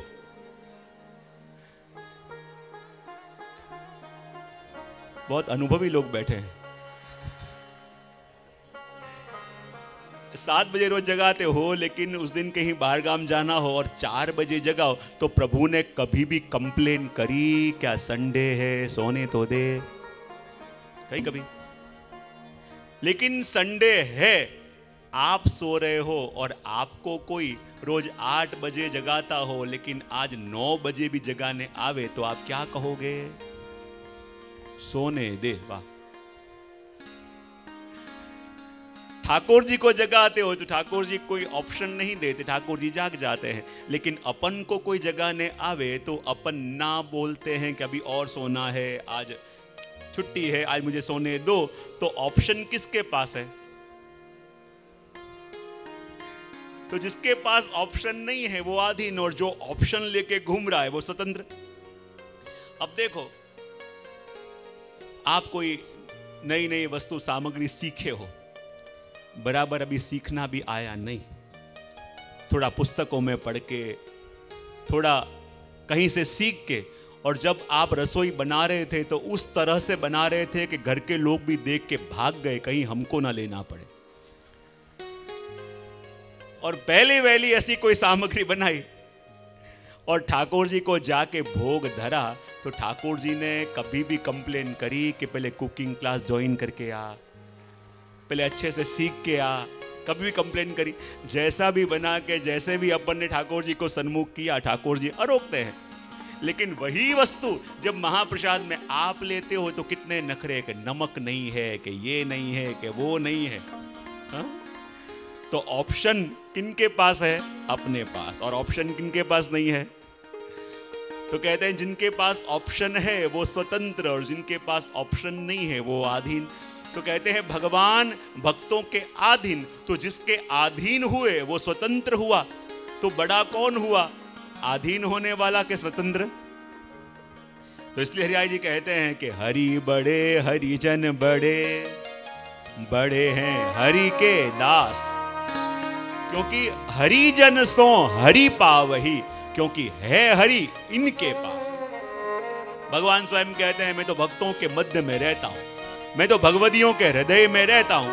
अब जो हृदय के अंदर कैद है तो जिसके पास है, वही तो दे पाएगा। जिसके पास है, वही वो दे पाएगा। इसलिए हिराज जी कहते हैं कि हरि बड़े हरिजन बड़े। बड़े हैं हरि के दास। हरिजन सो, हरि पावही, क्योंकि है हरि इनके पास। क्योंकि भगवदियों के पास, उन भक्तों के पास ठाकुर जी सदा रहते हैं, क्योंकि उनके अधीन हैं। और उनके अधीन हैं इसलिए उनके बिना हमारे प्रभु को चैन नहीं पड़ता। तो जहाँ जहाँ भगवती जाए, पीछे पीछे हमारे प्रभु भी जाए तो प्रभु मिले तो वैष्णव का संग मिले कि न मिले, पर वैष्णव मिले तो तो प्रभु मिले ही मिले। प्रभु के संग शायद भगवती मिले, निश्चित नहीं, पर भगवदियों का संग हुआ तो प्रभु मिलना निश्चित है। इसलिए कह दिया कि हरि जन सो हरि पावही, क्योंकि है हरि इनके पास। कि जिनके पास है वही तो दे पावे। भगवदियों का आश्रय मिले तो अपन गजेंद्र मोक्ष की कथा सुनते हैं ना? कि जब गजेंद्र सरोवर में स्नान करने गया और ग्रह ने आके गजेंद्र का पैर पकड़ा, और जब ग्रह ने गजेंद्र का पैर पकड़ा और गजेंद्र ने प्रभु को आवाज़ लगाई, हे हरि हे हरि, और भगवान उसकी पुकार सुन के जैसे ही आए गजेंद्र की स्तुति सुन के जैसे ही आए और आके अपने सुदर्शन चक्र से ग्रह का उद्धार किया। विचार करो, भगवान की स्तुति किसने करी? गजेंद्र ने कि ग्रह ने? किन्ने? प्रभु को पुकारा किसने? गजेंद्र ने कि ग्रह ने? लेकिन जब भगवान आए तो पहला उद्धार किसका किया? ग्रह का किया। अपन को लगे, भगवान की स्तुति करी गजेंद्र ने, भगवान को पुकारा गजेंद्र ने। लेकिन जब भगवान आए तो गजेंद्र का उद्धार बाद में, पहले ग्रह का उद्धार, पहले क्यों किया? तो कहते हैं कि जब गजेंद्र इस सरोवर के अंदर गया और जहाँ मगर रहता था, ग्रह रहता था, और जाने अनजाने में उसने उस गजेंद्र का पैर पकड़ लिया। और जैसे ही पैर पकड़ा, गजेंद्र भगवान को पुकारने लगा और जैसे ही गजेंद्र ने प्रभु को पुकारा, उसकी पुकार सुन के उसके आर्तनाद को सुन के ग्रह चौंका। विचार करने लगा कि जिस प्रकार आज गजेंद्र प्रभु को पुकार रहा है, जो तड़प उसकी पुकार के अंदर है, जो आर्त भाव उसकी पुकार में है, ये सुन के प्रभु को आना ही पड़ेगा। जाने अनजाने में आज मेरे हाथों में किसी भगवती के चरण आ गए हैं। अरे मेरे कर्म तो कैसे कठोर होंगे कि मुझे ये ग्राह की योनि मिली। मुझे तो प्रभु के दर्शन कभी नहीं हो सकते। लेकिन देखो, जिसकी पुकार सुन के प्रभु अपने आप को आने से रोक नहीं सकते उसकी पुकार सुन के प्रभु व्याकुल होके आएँगे। ऐसे भगवती के चरण मेरे हाथ में आ गए हैं। वो चरण में नहीं छोड़ूँगा। गजेंद्र बार बार पैरों से प्रहार करता रहा, मारता रहा, लेकिन गजेंद्र के चरण ग्रह ने नहीं छोड़े। और जब भगवान आए तो क्या देखा कि जिसने मेरी स्तुति करके मुझे बुलाया, वो गजेंद्र तो मेरा भक्त है। पर मेरे भक्तों के चरणों को पकड़ के जो बैठा है, वो ग्रह तो मेरा परम भक्त है। और आए गजेंद्र के बुलाने से पर आके पहला उद्धार ग्राह का किया इसलिए कह दिया कि जाने अनजाने में भी भगवती का संग हो गया और उसका भी उद्धार हो गया। इसलिए हरि बड़े, हरिजन बड़े बड़े हैं हरि के दास। हरिजन सो, हरि पावही, क्योंकि है हरि इनके पास। ये बात 28वीं साखी के अंदर करी और आगे इसी वस्तु को आगे बढ़ाते हुए 29वीं साखी के अंदर शहराय जी कह रहे हैं।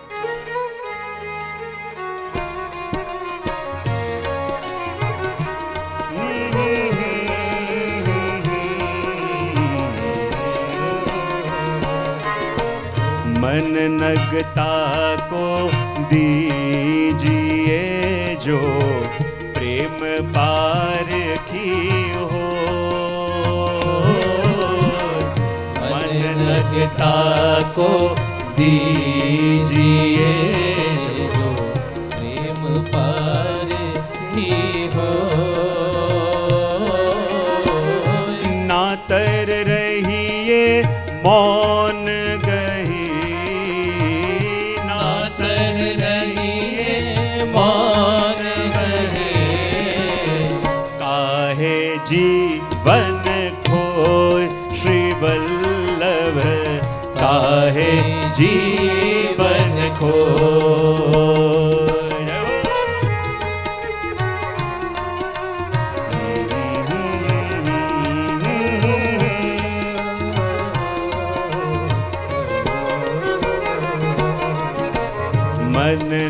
नगता को दीजिए जो आगे।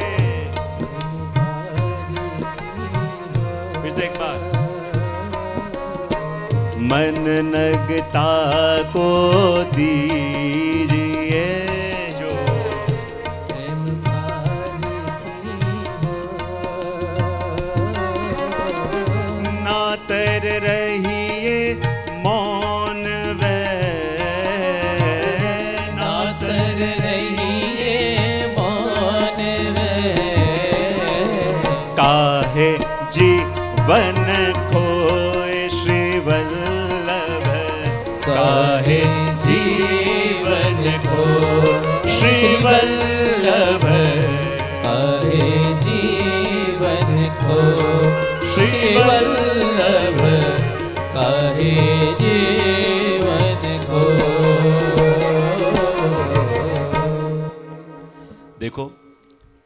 आगे की साखियों में हरिराय जी ने भगवदियों के संग की बड़ी महिमा बताई। भगवदियों के सत्संग की बड़ी महिमा बताई, लेकिन उनतीसवीं साखी में थोड़ा सावधान भी कर रहे हैं। और सावधान भी करके कहते हैं कि मन नग ताको दीजिए जो प्रेम पारखी होए। देखो, मैंने पहले ही कहा कि जगत में जिसका संग करते हैं उसके जैसे होने में देर नहीं लगती। और इसलिए कहते हैं कि पहले संग करने को कहा, लेकिन अब थोड़ा सावधान करते हैं और कहते हैं कि देखो, दुनिया में संग करने की उतावल ज़्यादा करनी भी नहीं। बोले क्यों? क्योंकि मन नगता को दीजिए, जो प्रेम पार की होए, नातर रहिए मौन गही। नातर रहिए मौन वे। काहे जीवन खोए। देखो ये मन क्या है? तो हिराज जी कहते हैं, मन नग। और नग यानी क्या? यदि नग आप किसी साधारण को दे दोगे तो उसका मोल कर नहीं पाएगा, लेकिन जौहरी को दोगे तो उसको तराश के, सुंदर बना के, मुकुट में जड़ के ठाकुर जी के मस्तक तक पहुँच जाओगे। हाँ? तो ये मन रूपी नग देने में जल्दी उतावल नहीं करनी। बोले, क्यों? क्योंकि इस जगत में आप जिसका संग कर रहे हो, पहले ये तो देखो, ये तो परखो कि जिसको आप अपना मन देने को उतावले रहे हो, वो क्या जौहरी की तरह है कि जो आपके मन को परख सकता है? जीवन में जिसका भी संग करें तो पहले ये देखो कि जिसके संग से मैं जो पाना चाहता हूँ तो जिसका संग किया क्या उसने उसको पाया है? यदि वो प्रभु का वर्णन करता है तो कितना भी मीठा बोलता है, वो मत सुनो। जिसके बारे में बोल रहा है, वो क्या उसकी आँखों में झलकते हैं? जिसकी बातें आप सुन रहे हो तो वो क्या कह दे? ये भरोसा मत करो, ये जरा सुनो नहीं। उसकी आँखों में देखो कि जिसके बारे में बोल रहा है, ये उसने खुद ने भी पाया है कि नहीं पाया? यदि उसने खुद ने नहीं पाया तो वो आपको उसका परिचय कैसे कराएगा? जो स्वयं भटका हुआ है, वो आपको पद कैसे दिखाएगा? जिसका संग करें पहले ये देखें कि उसके पथ पे उसके चरण स्थित हैं कि नहीं। यदि वो स्वयं स्थित नहीं है और उसके पैर पकड़ने गए तो वो भी गिरेगा और आपको भी गिराएगा। इसलिए कहते हैं कि संग भी किसका करना? आज अपन क्या करते हैं? ऐसे संग ढूंढ लेते हैं। वो नहीं व्यक्ति को कान में कम सुनाई देता था, कान में तकलीफ़ थी और बताने के लिए कोई ईएनटी सर्जन के गया। और जिस ईएनटी सर्जन के क्लिनिक में गया, वहाँ हर एक दीवार पे बोर्ड लगे थे कि डॉक्टर साहब ऊँचा सुनते हैं, जरा ज़ोर से बोलना। अब हम समस्या का समाधान ढूँढने के लिए भी ऐसी जगह, ऐसा संग कर लेते हैं कि जो स्वयं समस्या बन के घूम रहे हैं। इसलिए कह दिया कि मन नग ताको दीजिए जो प्रेम पारखी हो मन रूपी नग हर किसी के हाथ में देने में उतावल नहीं करनी क्योंकि देखो, चाहे संग न मिले कोई बात नहीं, लेकिन कोई ऐसा संग न हो जावे। मैं कई बार कहता हूँ कि सत्संग का रंग चढ़ाने में युगो युगो बीत जाते हैं, लेकिन दुस्संग का रंग चढ़ने में एक घड़ी लगती है। कितना सुंदर आप दूध तैयार करो, कितना उकालो, कितना वो करो, लेकिन एक नींबू का बूंद अंदर गिरा। पूरी मेहनत गई पानी में।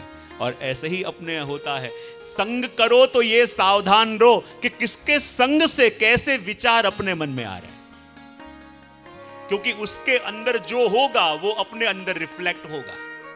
जिसके संग से सिर्फ़ लौकिक बढ़ रहा है, जिसके संग से सिर्फ़ लौकिक ही विचार आ रहे हैं जिसके संग से सिर्फ़ कलह ही बढ़ रहा है। तो मानो वो संग भी नहीं है, वो कहीं दुस्संग की ओर अपन जा रहे हैं। तो इसलिए कह दिया कि मन नगता को दीजिए जो प्रेम पार की हो इसलिए हरिया जी अपन को कह रहे हैं कि संग भी उसका करो कि जो स्वयं पहले पाया हुआ हो। क्योंकि जिसने स्वयं पाया है, वो आपको दे सकता है। जिसके पास जो लेने के लिए गए, वो उसके पास है ही नहीं तो वो आपको देगा कैसे?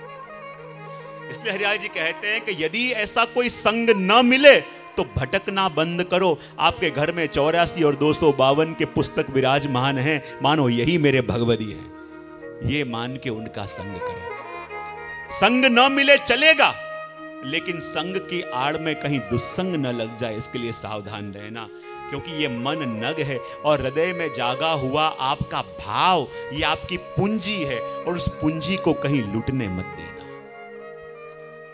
भाव अपनी पूंजी है और ये पूंजी को किसी को लूटने का अधिकार नहीं है। इसलिए कह दिया कि मन नगता को दीजिए जो प्रेम पारखी हो और प्रेम पारखी हो, इसका मतलब क्या? जिसने स्वयं भी पाया हुआ हो।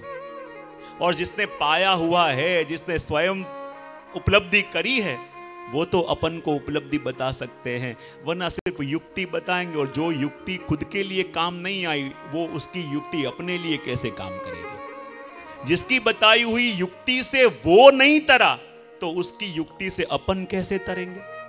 जिसकी युक्ति उसके जीवन में कोई प्रभाव आध्यात्म का नहीं दिखाती तो उसकी बताई हुई युक्तियाँ हमारे आध्यात्मिक जीवन में हमको कैसे उपलब्धि करा सकती है?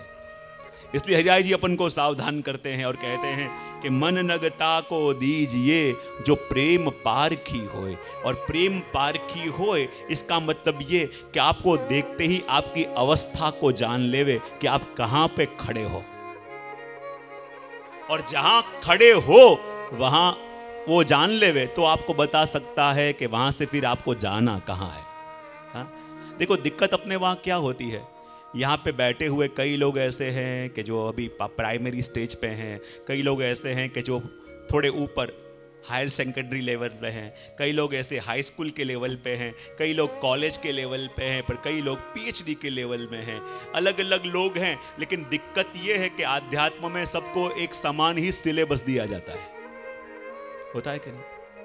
एक समान ही सिलेबस दिया जाता है। तो बेचारा प्राइमरी वाला और डर जाता है और पीएचडी वाला है, वो कंफ्यूज हो जाता है। तो कहते हैं कि संग किसका करना कि जो प्रेम पार की हो? और प्रेम पार की हो, यानी आप कहाँ खड़े हो, वो जान पावे। और कहाँ खड़े हो, ये जान लेवे तो फिर वो आपको बता सकता है कि वहाँ से फिर आपको कहाँ जाना है। जब तक वो ये जान ना पावे कि आप खड़े कहाँ पे हो तो आपको रास्ता कैसे बताएगा? मैं कई बार कहूँ ना कि आप अचानक अपनी कार लेके रात को किसी सगे संबंधी को मिलने के लिए वडोदरा में आए। रास्ता भूल गए, उसका घर नहीं मिल रहा तो आपने उसको फ़ोन किया और कहा कि देख, मैं तुझे मिलने आया हूँ, लेकिन यहाँ रास्ता भटक गया हूँ। मुझे रास्ता बताएगा? बोले, चिंता ना कर, मैं खुद तुझे लेने के लिए आ रहा हूँ। पर यह बता, तू खड़ा कहाँ पे? अब अपन ये बता ना पावे कि हम खड़े कहाँ पे हैं तो वो मदद करने के लिए आने वाला व्यक्ति भी क्या हम तक पहुँच पाएगा? और हम तक पहुँच नहीं पाएगा तो हमें रास्ता बताएगा कैसे? पहले ये बताना पड़ेगा कि हम खड़े कहाँ पे हैं। तो प्रेम पार की यानी कौन जो अपनी अवस्था को जान पावे कि अपन खड़े कहाँ पे हैं? और कहाँ खड़े हैं, ये जो जानता है वही अपन को आगे बढ़ने का रास्ता बता सकता है। क्योंकि दिक्कत ये होती है, अपन खड़े कहीं होते हैं और जिससे रास्ता पूछते हैं, उसको बराबर पता ही नहीं कि हम खड़े कहाँ हैं। वो कहीं और से नेविगेशन बताता है और अपन खड़े कहीं और हैं। और इसलिए दिक्कत होती है। इसलिए कह दिया कि मन नगता को दीजिए, जो प्रेम पारखी होए, नातर रहिए मौन वे, काहे जीवन खोए। ये उनतीसवीं साखी का श्रवण करके आज देखो आज एक विशेष उत्सव है। श्री महाप्रभु जी का कनकाभिषेक का। और कनकाभिषेक महाप्रभु जी का कहाँ हुआ था? हाँ? विजयनगर। जो बैठक जी का अनाउंसमेंट अपन कर रहे हैं तो वो ये वही बैठक जी की लीला है। कनक स्नान सतमण सुवर्ण कराव्यू महिपाल। ते मुकी वेग चालिया राय दृष्टि न पाची बार जो वल्भाख्यान में अपन गाते हैं कि जब श्री महाप्रभु जी विजयनगर के राज्य में पधारे राजा कृष्णदेव राय ने जब आपके विचारों को, आपके एक एक शास्त्रीय रूप से दी हुई युक्तियों को सुना, इतने प्रभावित हुए कि उस समय श्री महाप्रभु जी का सतमण स्वर्ण से कनकाभिषेक करवाया गया। और उसी लीला का दर्शन अपन करेंगे, लेकिन उससे पाँच मिनट के लिए कुछ अनाउंसमेंट हैं, क्योंकि देखियो, कल से ही, परसों से जब ये अनाउंसमेंट चालू हुई दोनों बैठक जी की, और ऐसे ऐसे जीव इस कार्य के अंदर आगे बढ़ रहे हैं कि अपन को लगे कि देखो, अब ये मनोरथ अपना नहीं रहा, ये मनोरथ स्वयं श्री वल्लभ का हो गया है कि 500 वर्ष के बाद पुनः आपको बैठक जी प्रकट करके वहाँ विराज के अपने जीवों को सुख देना है, अपने जीवों को आनंद देना है। तो पंपा सरोवर यानी छियालीसवें नंबर के बैठक जी और विद्यानगर के बैठक जी के जहाँ महाप्रभु जी का कनकाभिषेक हुआ, जिस लीला के दर्शन अपन करेंगे, उससे पूर्व एक दो बहुत ज़रूरी अनाउंसमेंट हैं।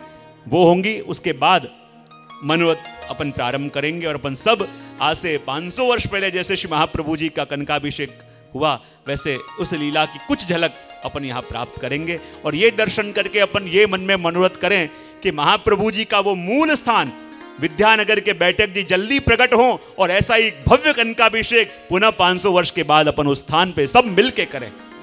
श्री वल्लभाधीश की जैसे ही पूज्य ने बधाई दी है। आज महाप्रभु जी का कनकाभिषेक भी होने जा रहा है। और पिछले दो दिनों से जिस अप्रगट बैठक जी की प्रकट होने की दिव्य बधाई हमें पूज्यश्री द्वारा प्राप्त हुई है। और दो दिनों से आस्था चैनल के माध्यम से जो भी वैष्णव गुजरात में, गुजरात से बाहर, भारत वर्ष से बाहर, जो भी वैष्णव इस पूरे कार्यक्रम को देख रहे हैं, उनके मन में भी यह भाव जागा है कि हम भी पूज्यश्री द्वारा दी बधाई को बधा ले और पंपा सरोवर एवं विजयनगर की अप्रगट बैठक जो पूज्यश्री प्रकट करवा रहे हैं, हम भी सहयोगी बने और कई वैष्णवों के उत्साहपूर्व फ़ोन भी आ रहे हैं। उनकी धनराशि भी इस दिव्य अनुपम कार्य में वे समर्पित कर रहे हैं। तो कुछ वैष्णवों के नाम हैं जो यहाँ से मैं उद्घोषित करना चाहूँगा, जो हमें इस आस्था चैनल के माध्यम से देख रहे हैं, सुन रहे हैं। तो उन वैष्णवों को भी धन्यवाद है जो अपनी दिव्य लक्ष्मी के संग इस भगीरथ कार्य में जुड़े हैं। श्री मनोहर दास गुजराती, दिल्ली से एक लाख रुपए दे रहे हैं, ताली तो बजनी चाहिए। श्री हरकिशन दास भाई एन द्रुणा चेन्नई से है। इक्यावन हज़ार इन्होंने दिया है। श्री कृष्ण कुमार जी पिंकी जी दिल्ली से इक्यावन हज़ार दिए हैं। श्री विजय जी अरोरा इक्यावन हज़ार जिन्होंने दिए हैं। नरेंद्र जी बब्बर दिल्ली से जिन्होंने इक्यावन हज़ार दिए हैं।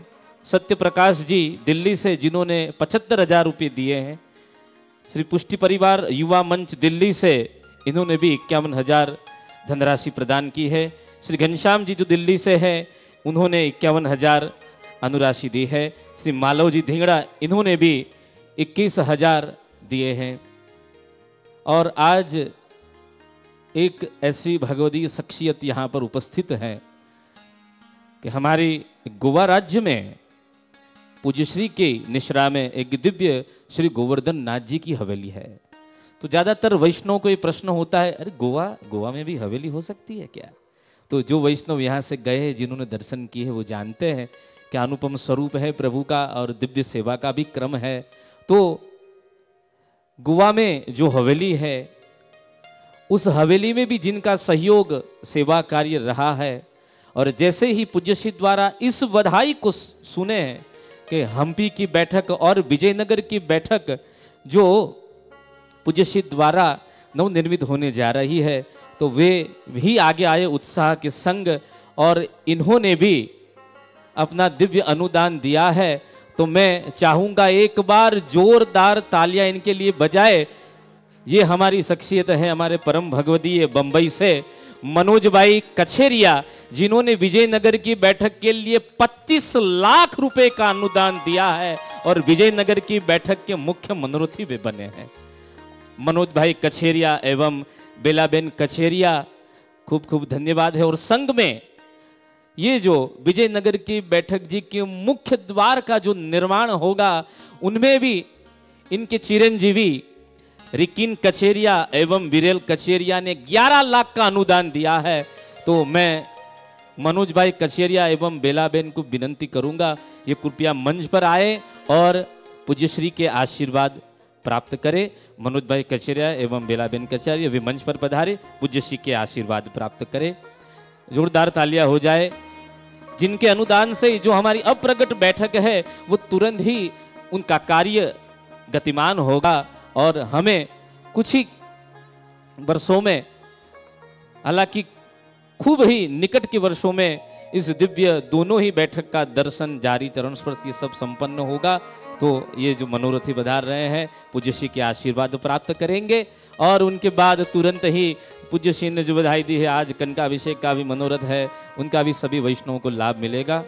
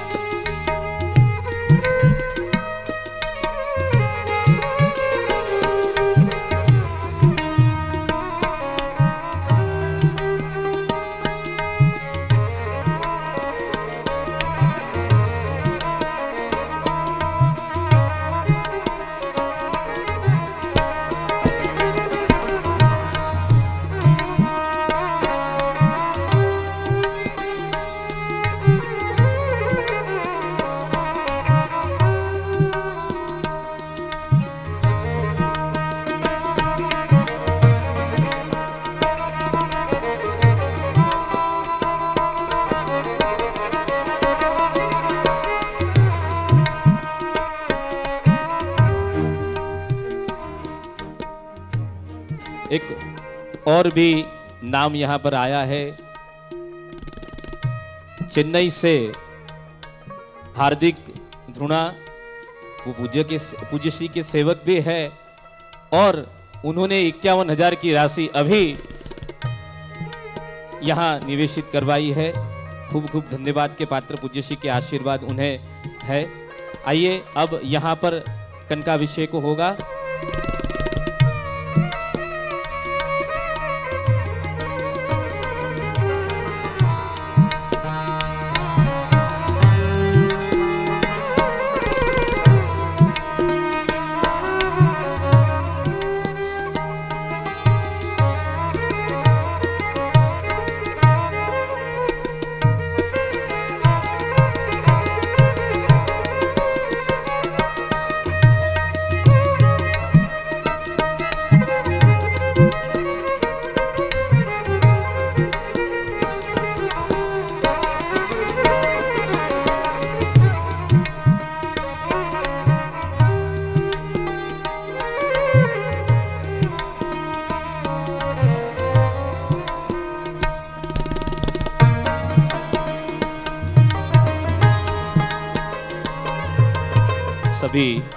कैमरामैन भाइयों को मैं विनती करूँगा, सभी वैष्णवों को दर्शन हो इस प्रकार, इस छवि को भी आप अंकित करें और सभी वैष्णवों को दिखाएँ। हरि ओम, सहस्र श्री सहस्रशीरेखा पुरुषः सहस्राक्षः, सहस्रपात, सभूमिगो सर्वतस्मृतवात्यतिष्ठदसाङ्गुलम् पुरुष एवेदग्गो सर्वं यद्भूतं यच्च भाव्यम् उताम्रेतद्वस्येषा नो जदन्नेनातिरोहति एतावानस्य महिमातो जायांस पुरुषः पादोऽस्य विश्वाभूतानि त्रिपादस्यामृतं दिवि। त्रिपादोर्ध्व उदयत्पुरुषः पादोऽस्येहा भवत् पुनः ततो विक्वन्यक्रामत्सासनान शने अभि। ततो विराडजायत विराजो अधिपूरुखः। स जातो अत्यरिच्य तपस्सात् भूमिमथो पुरः। तस्माद्यज्ञात् सर्वाहुतः सम्भृतं प्रेखदाज्यम्। पशुस्तांश्चक्रे वायव्यानारण्या ग्राम्याश्च दे। तस्माद्यज्ञात् सर्वहुतः सम्भृतं प्रेखदाज्यम्। पशुस्तांश्चक्रे वायव्यानारण्या ग्राम्याश्च जे तस्माद्यज्ञात् सर्वाहुतरे च। सामानि जग्नीरे छन्दा गुंसि जग्नीरे। तस्माद्यदुस्तस्मादजायत तस्मादस्वा अजायन्त जे केचोभयादतः गावो ह जग्निरे तस्मात् तस्माज्जाता अजावयः। तञ्जग्नं बरेहि प्रोक्षन् पुरुखं जातमग्रतः तेन देवा अयजन्त साध्यारिखयस्य जे जत्पुरुखं व्यदधुः कतिधाव्यकल्पयन् मुखं किमस्यासीत् किं बाहु? किमुरुपादा उच्येते? ब्राह्मणोऽस्य मुखमासीद् बाहुराजन्यः कृतः ऊरु तदस्य यद्वैश्यः पदव्यागुशूद्रो अजायत। चन्द्रमा मनसो जातश्चक्षोः सूर्यो अजायत श्रोत्राद्वायुश्च प्राणस्य मुखादग्निरजायत। नाभ्या आसीदन्तरिक्षगो शीर्ष्णोद्यौः समवर्तत। पद्भ्यां भूमिर्दिशः श्रोत्रा तथा लोकान् अकल्पयन् यत्पुरुषेण हविखा देवा जग्नमतन्वत।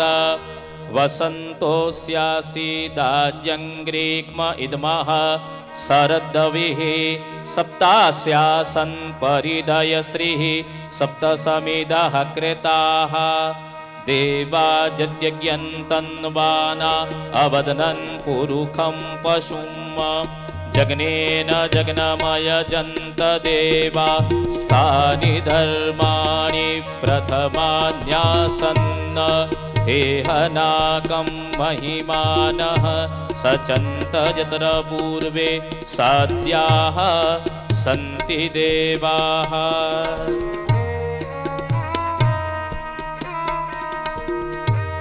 तरेयुः संसारं कथमगतपारं सुरजना कथं भावात्मानं हरिमनुसरेयोस्य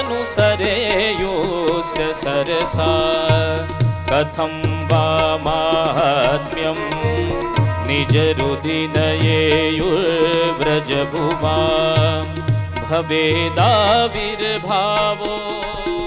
यदि न भुवि वागेश भवत श्रीवल्लभशरणं श्रीवल्लभशरणं मम। श्रीवल्लभशरणं मम। श्रीवल्लभरणं श्रीवल्लभशरणम्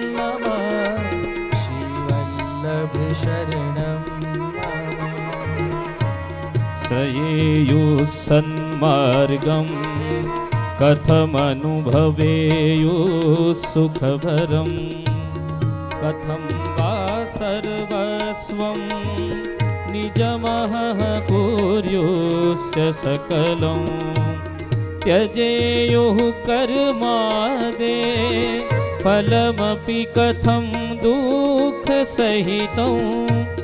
भवेदाविर्भावो यदि न भुवि वागीश भवत श्रीवल्लभ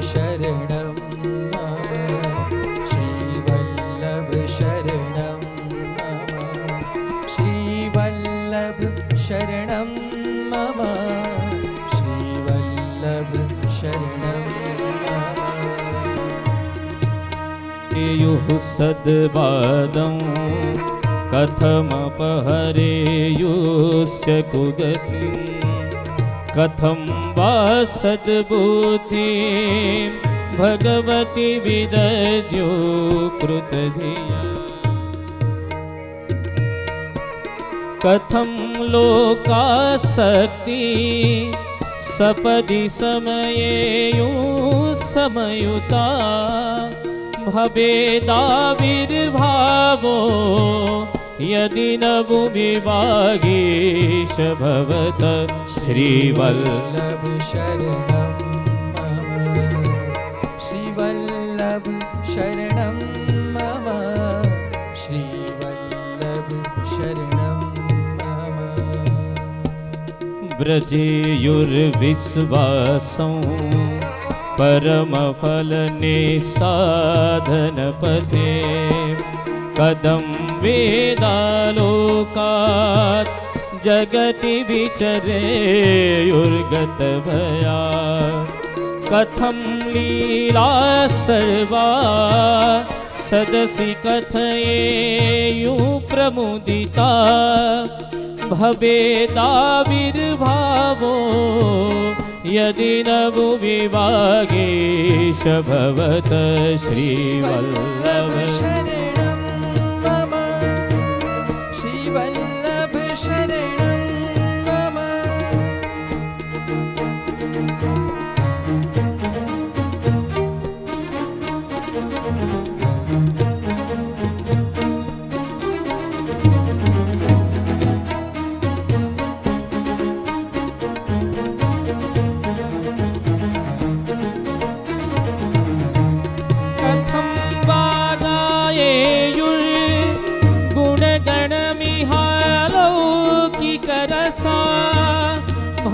वेदाविर्भावो यदि न भूमिवागीश भवत श्रीवल्लभशरणं मम।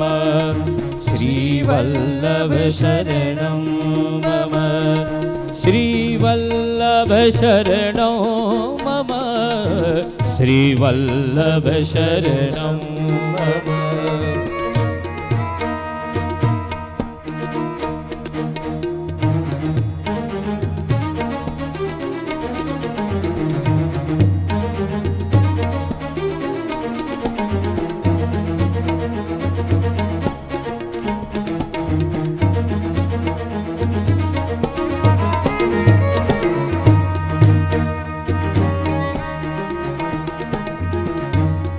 जयेयुर्दुर्जेया दनुजमनुनीतानपि कथं कथं वा मार्गीयं फलमुपदिशेयुस्य परमम् कथं वे गच्छेयुः शरणमतिभावेन सततम् भवेदाविर्भावो यदि न भुविभागीश भवत श्रीवल्लभशरणं मम श्रीवल्लभशरणं श्रीवल्लभशरणं मम श्रीवल्लभशरणं श्रीवल्लभशरणो मम। श्रीवल्लभ शरणं मम श्रीवल्लभ शरणं मम श्रीवल्लभ शरणं मम श्रीवल्लभ शरणं मम श्रीवल्लभ शरणं मम श्रीवल्लभ शरणं मम श्रीवल्लभ शरणं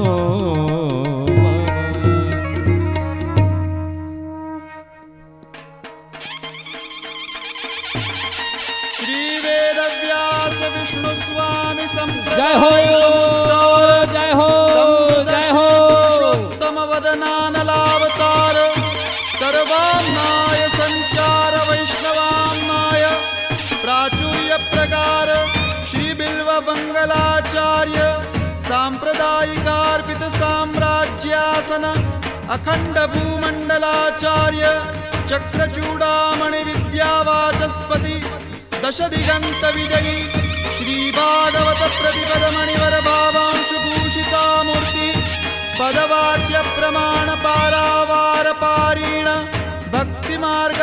मणिवरभावांशुभूषिता षड्दर्शनव्याख्यानसिंहासनाधीश्वर श्री राजा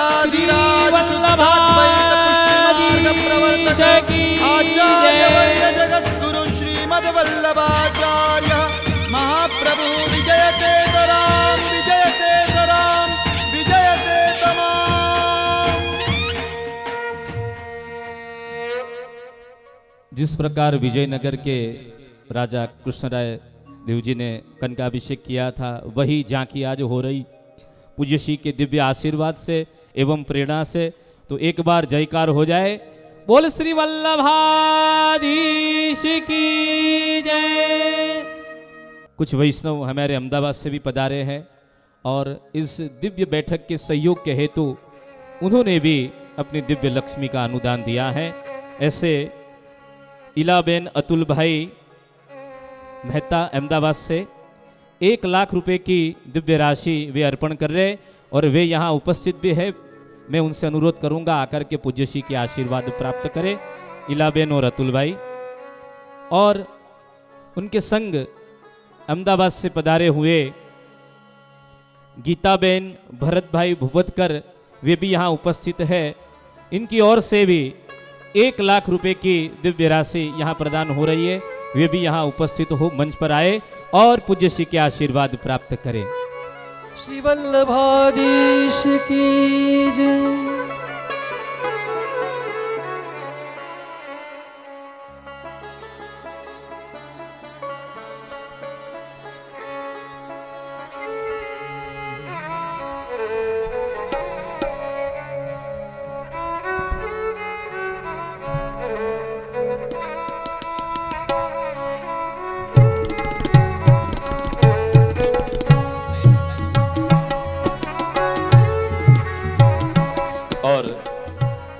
से पधारे।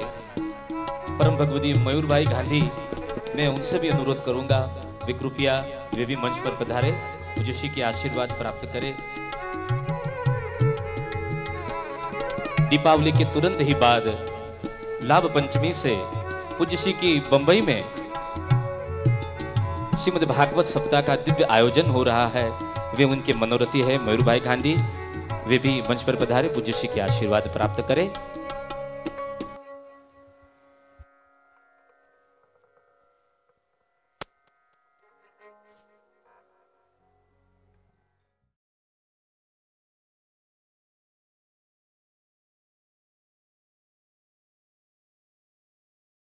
सरसों तेल का मूल्य हमेशा सौ रुपए लीटर से अधिक ही होता है लालची लोग पचास रुपए लीटर बिकने वाला पाम ऑयल मिलाकर मिलावटी सरसों का तेल बेच रहे हैं इसलिए पतंजलि ने 100 प्रतिशत प्योर कच्ची घानी का शुद्ध सरसों तेल उपलब्ध कराया आइए मिलावट के जहर से अपने मासूम बच्चों और परिवार को बचाइए पतंजलि के शुद्ध प्रोडक्ट ही घर लाइए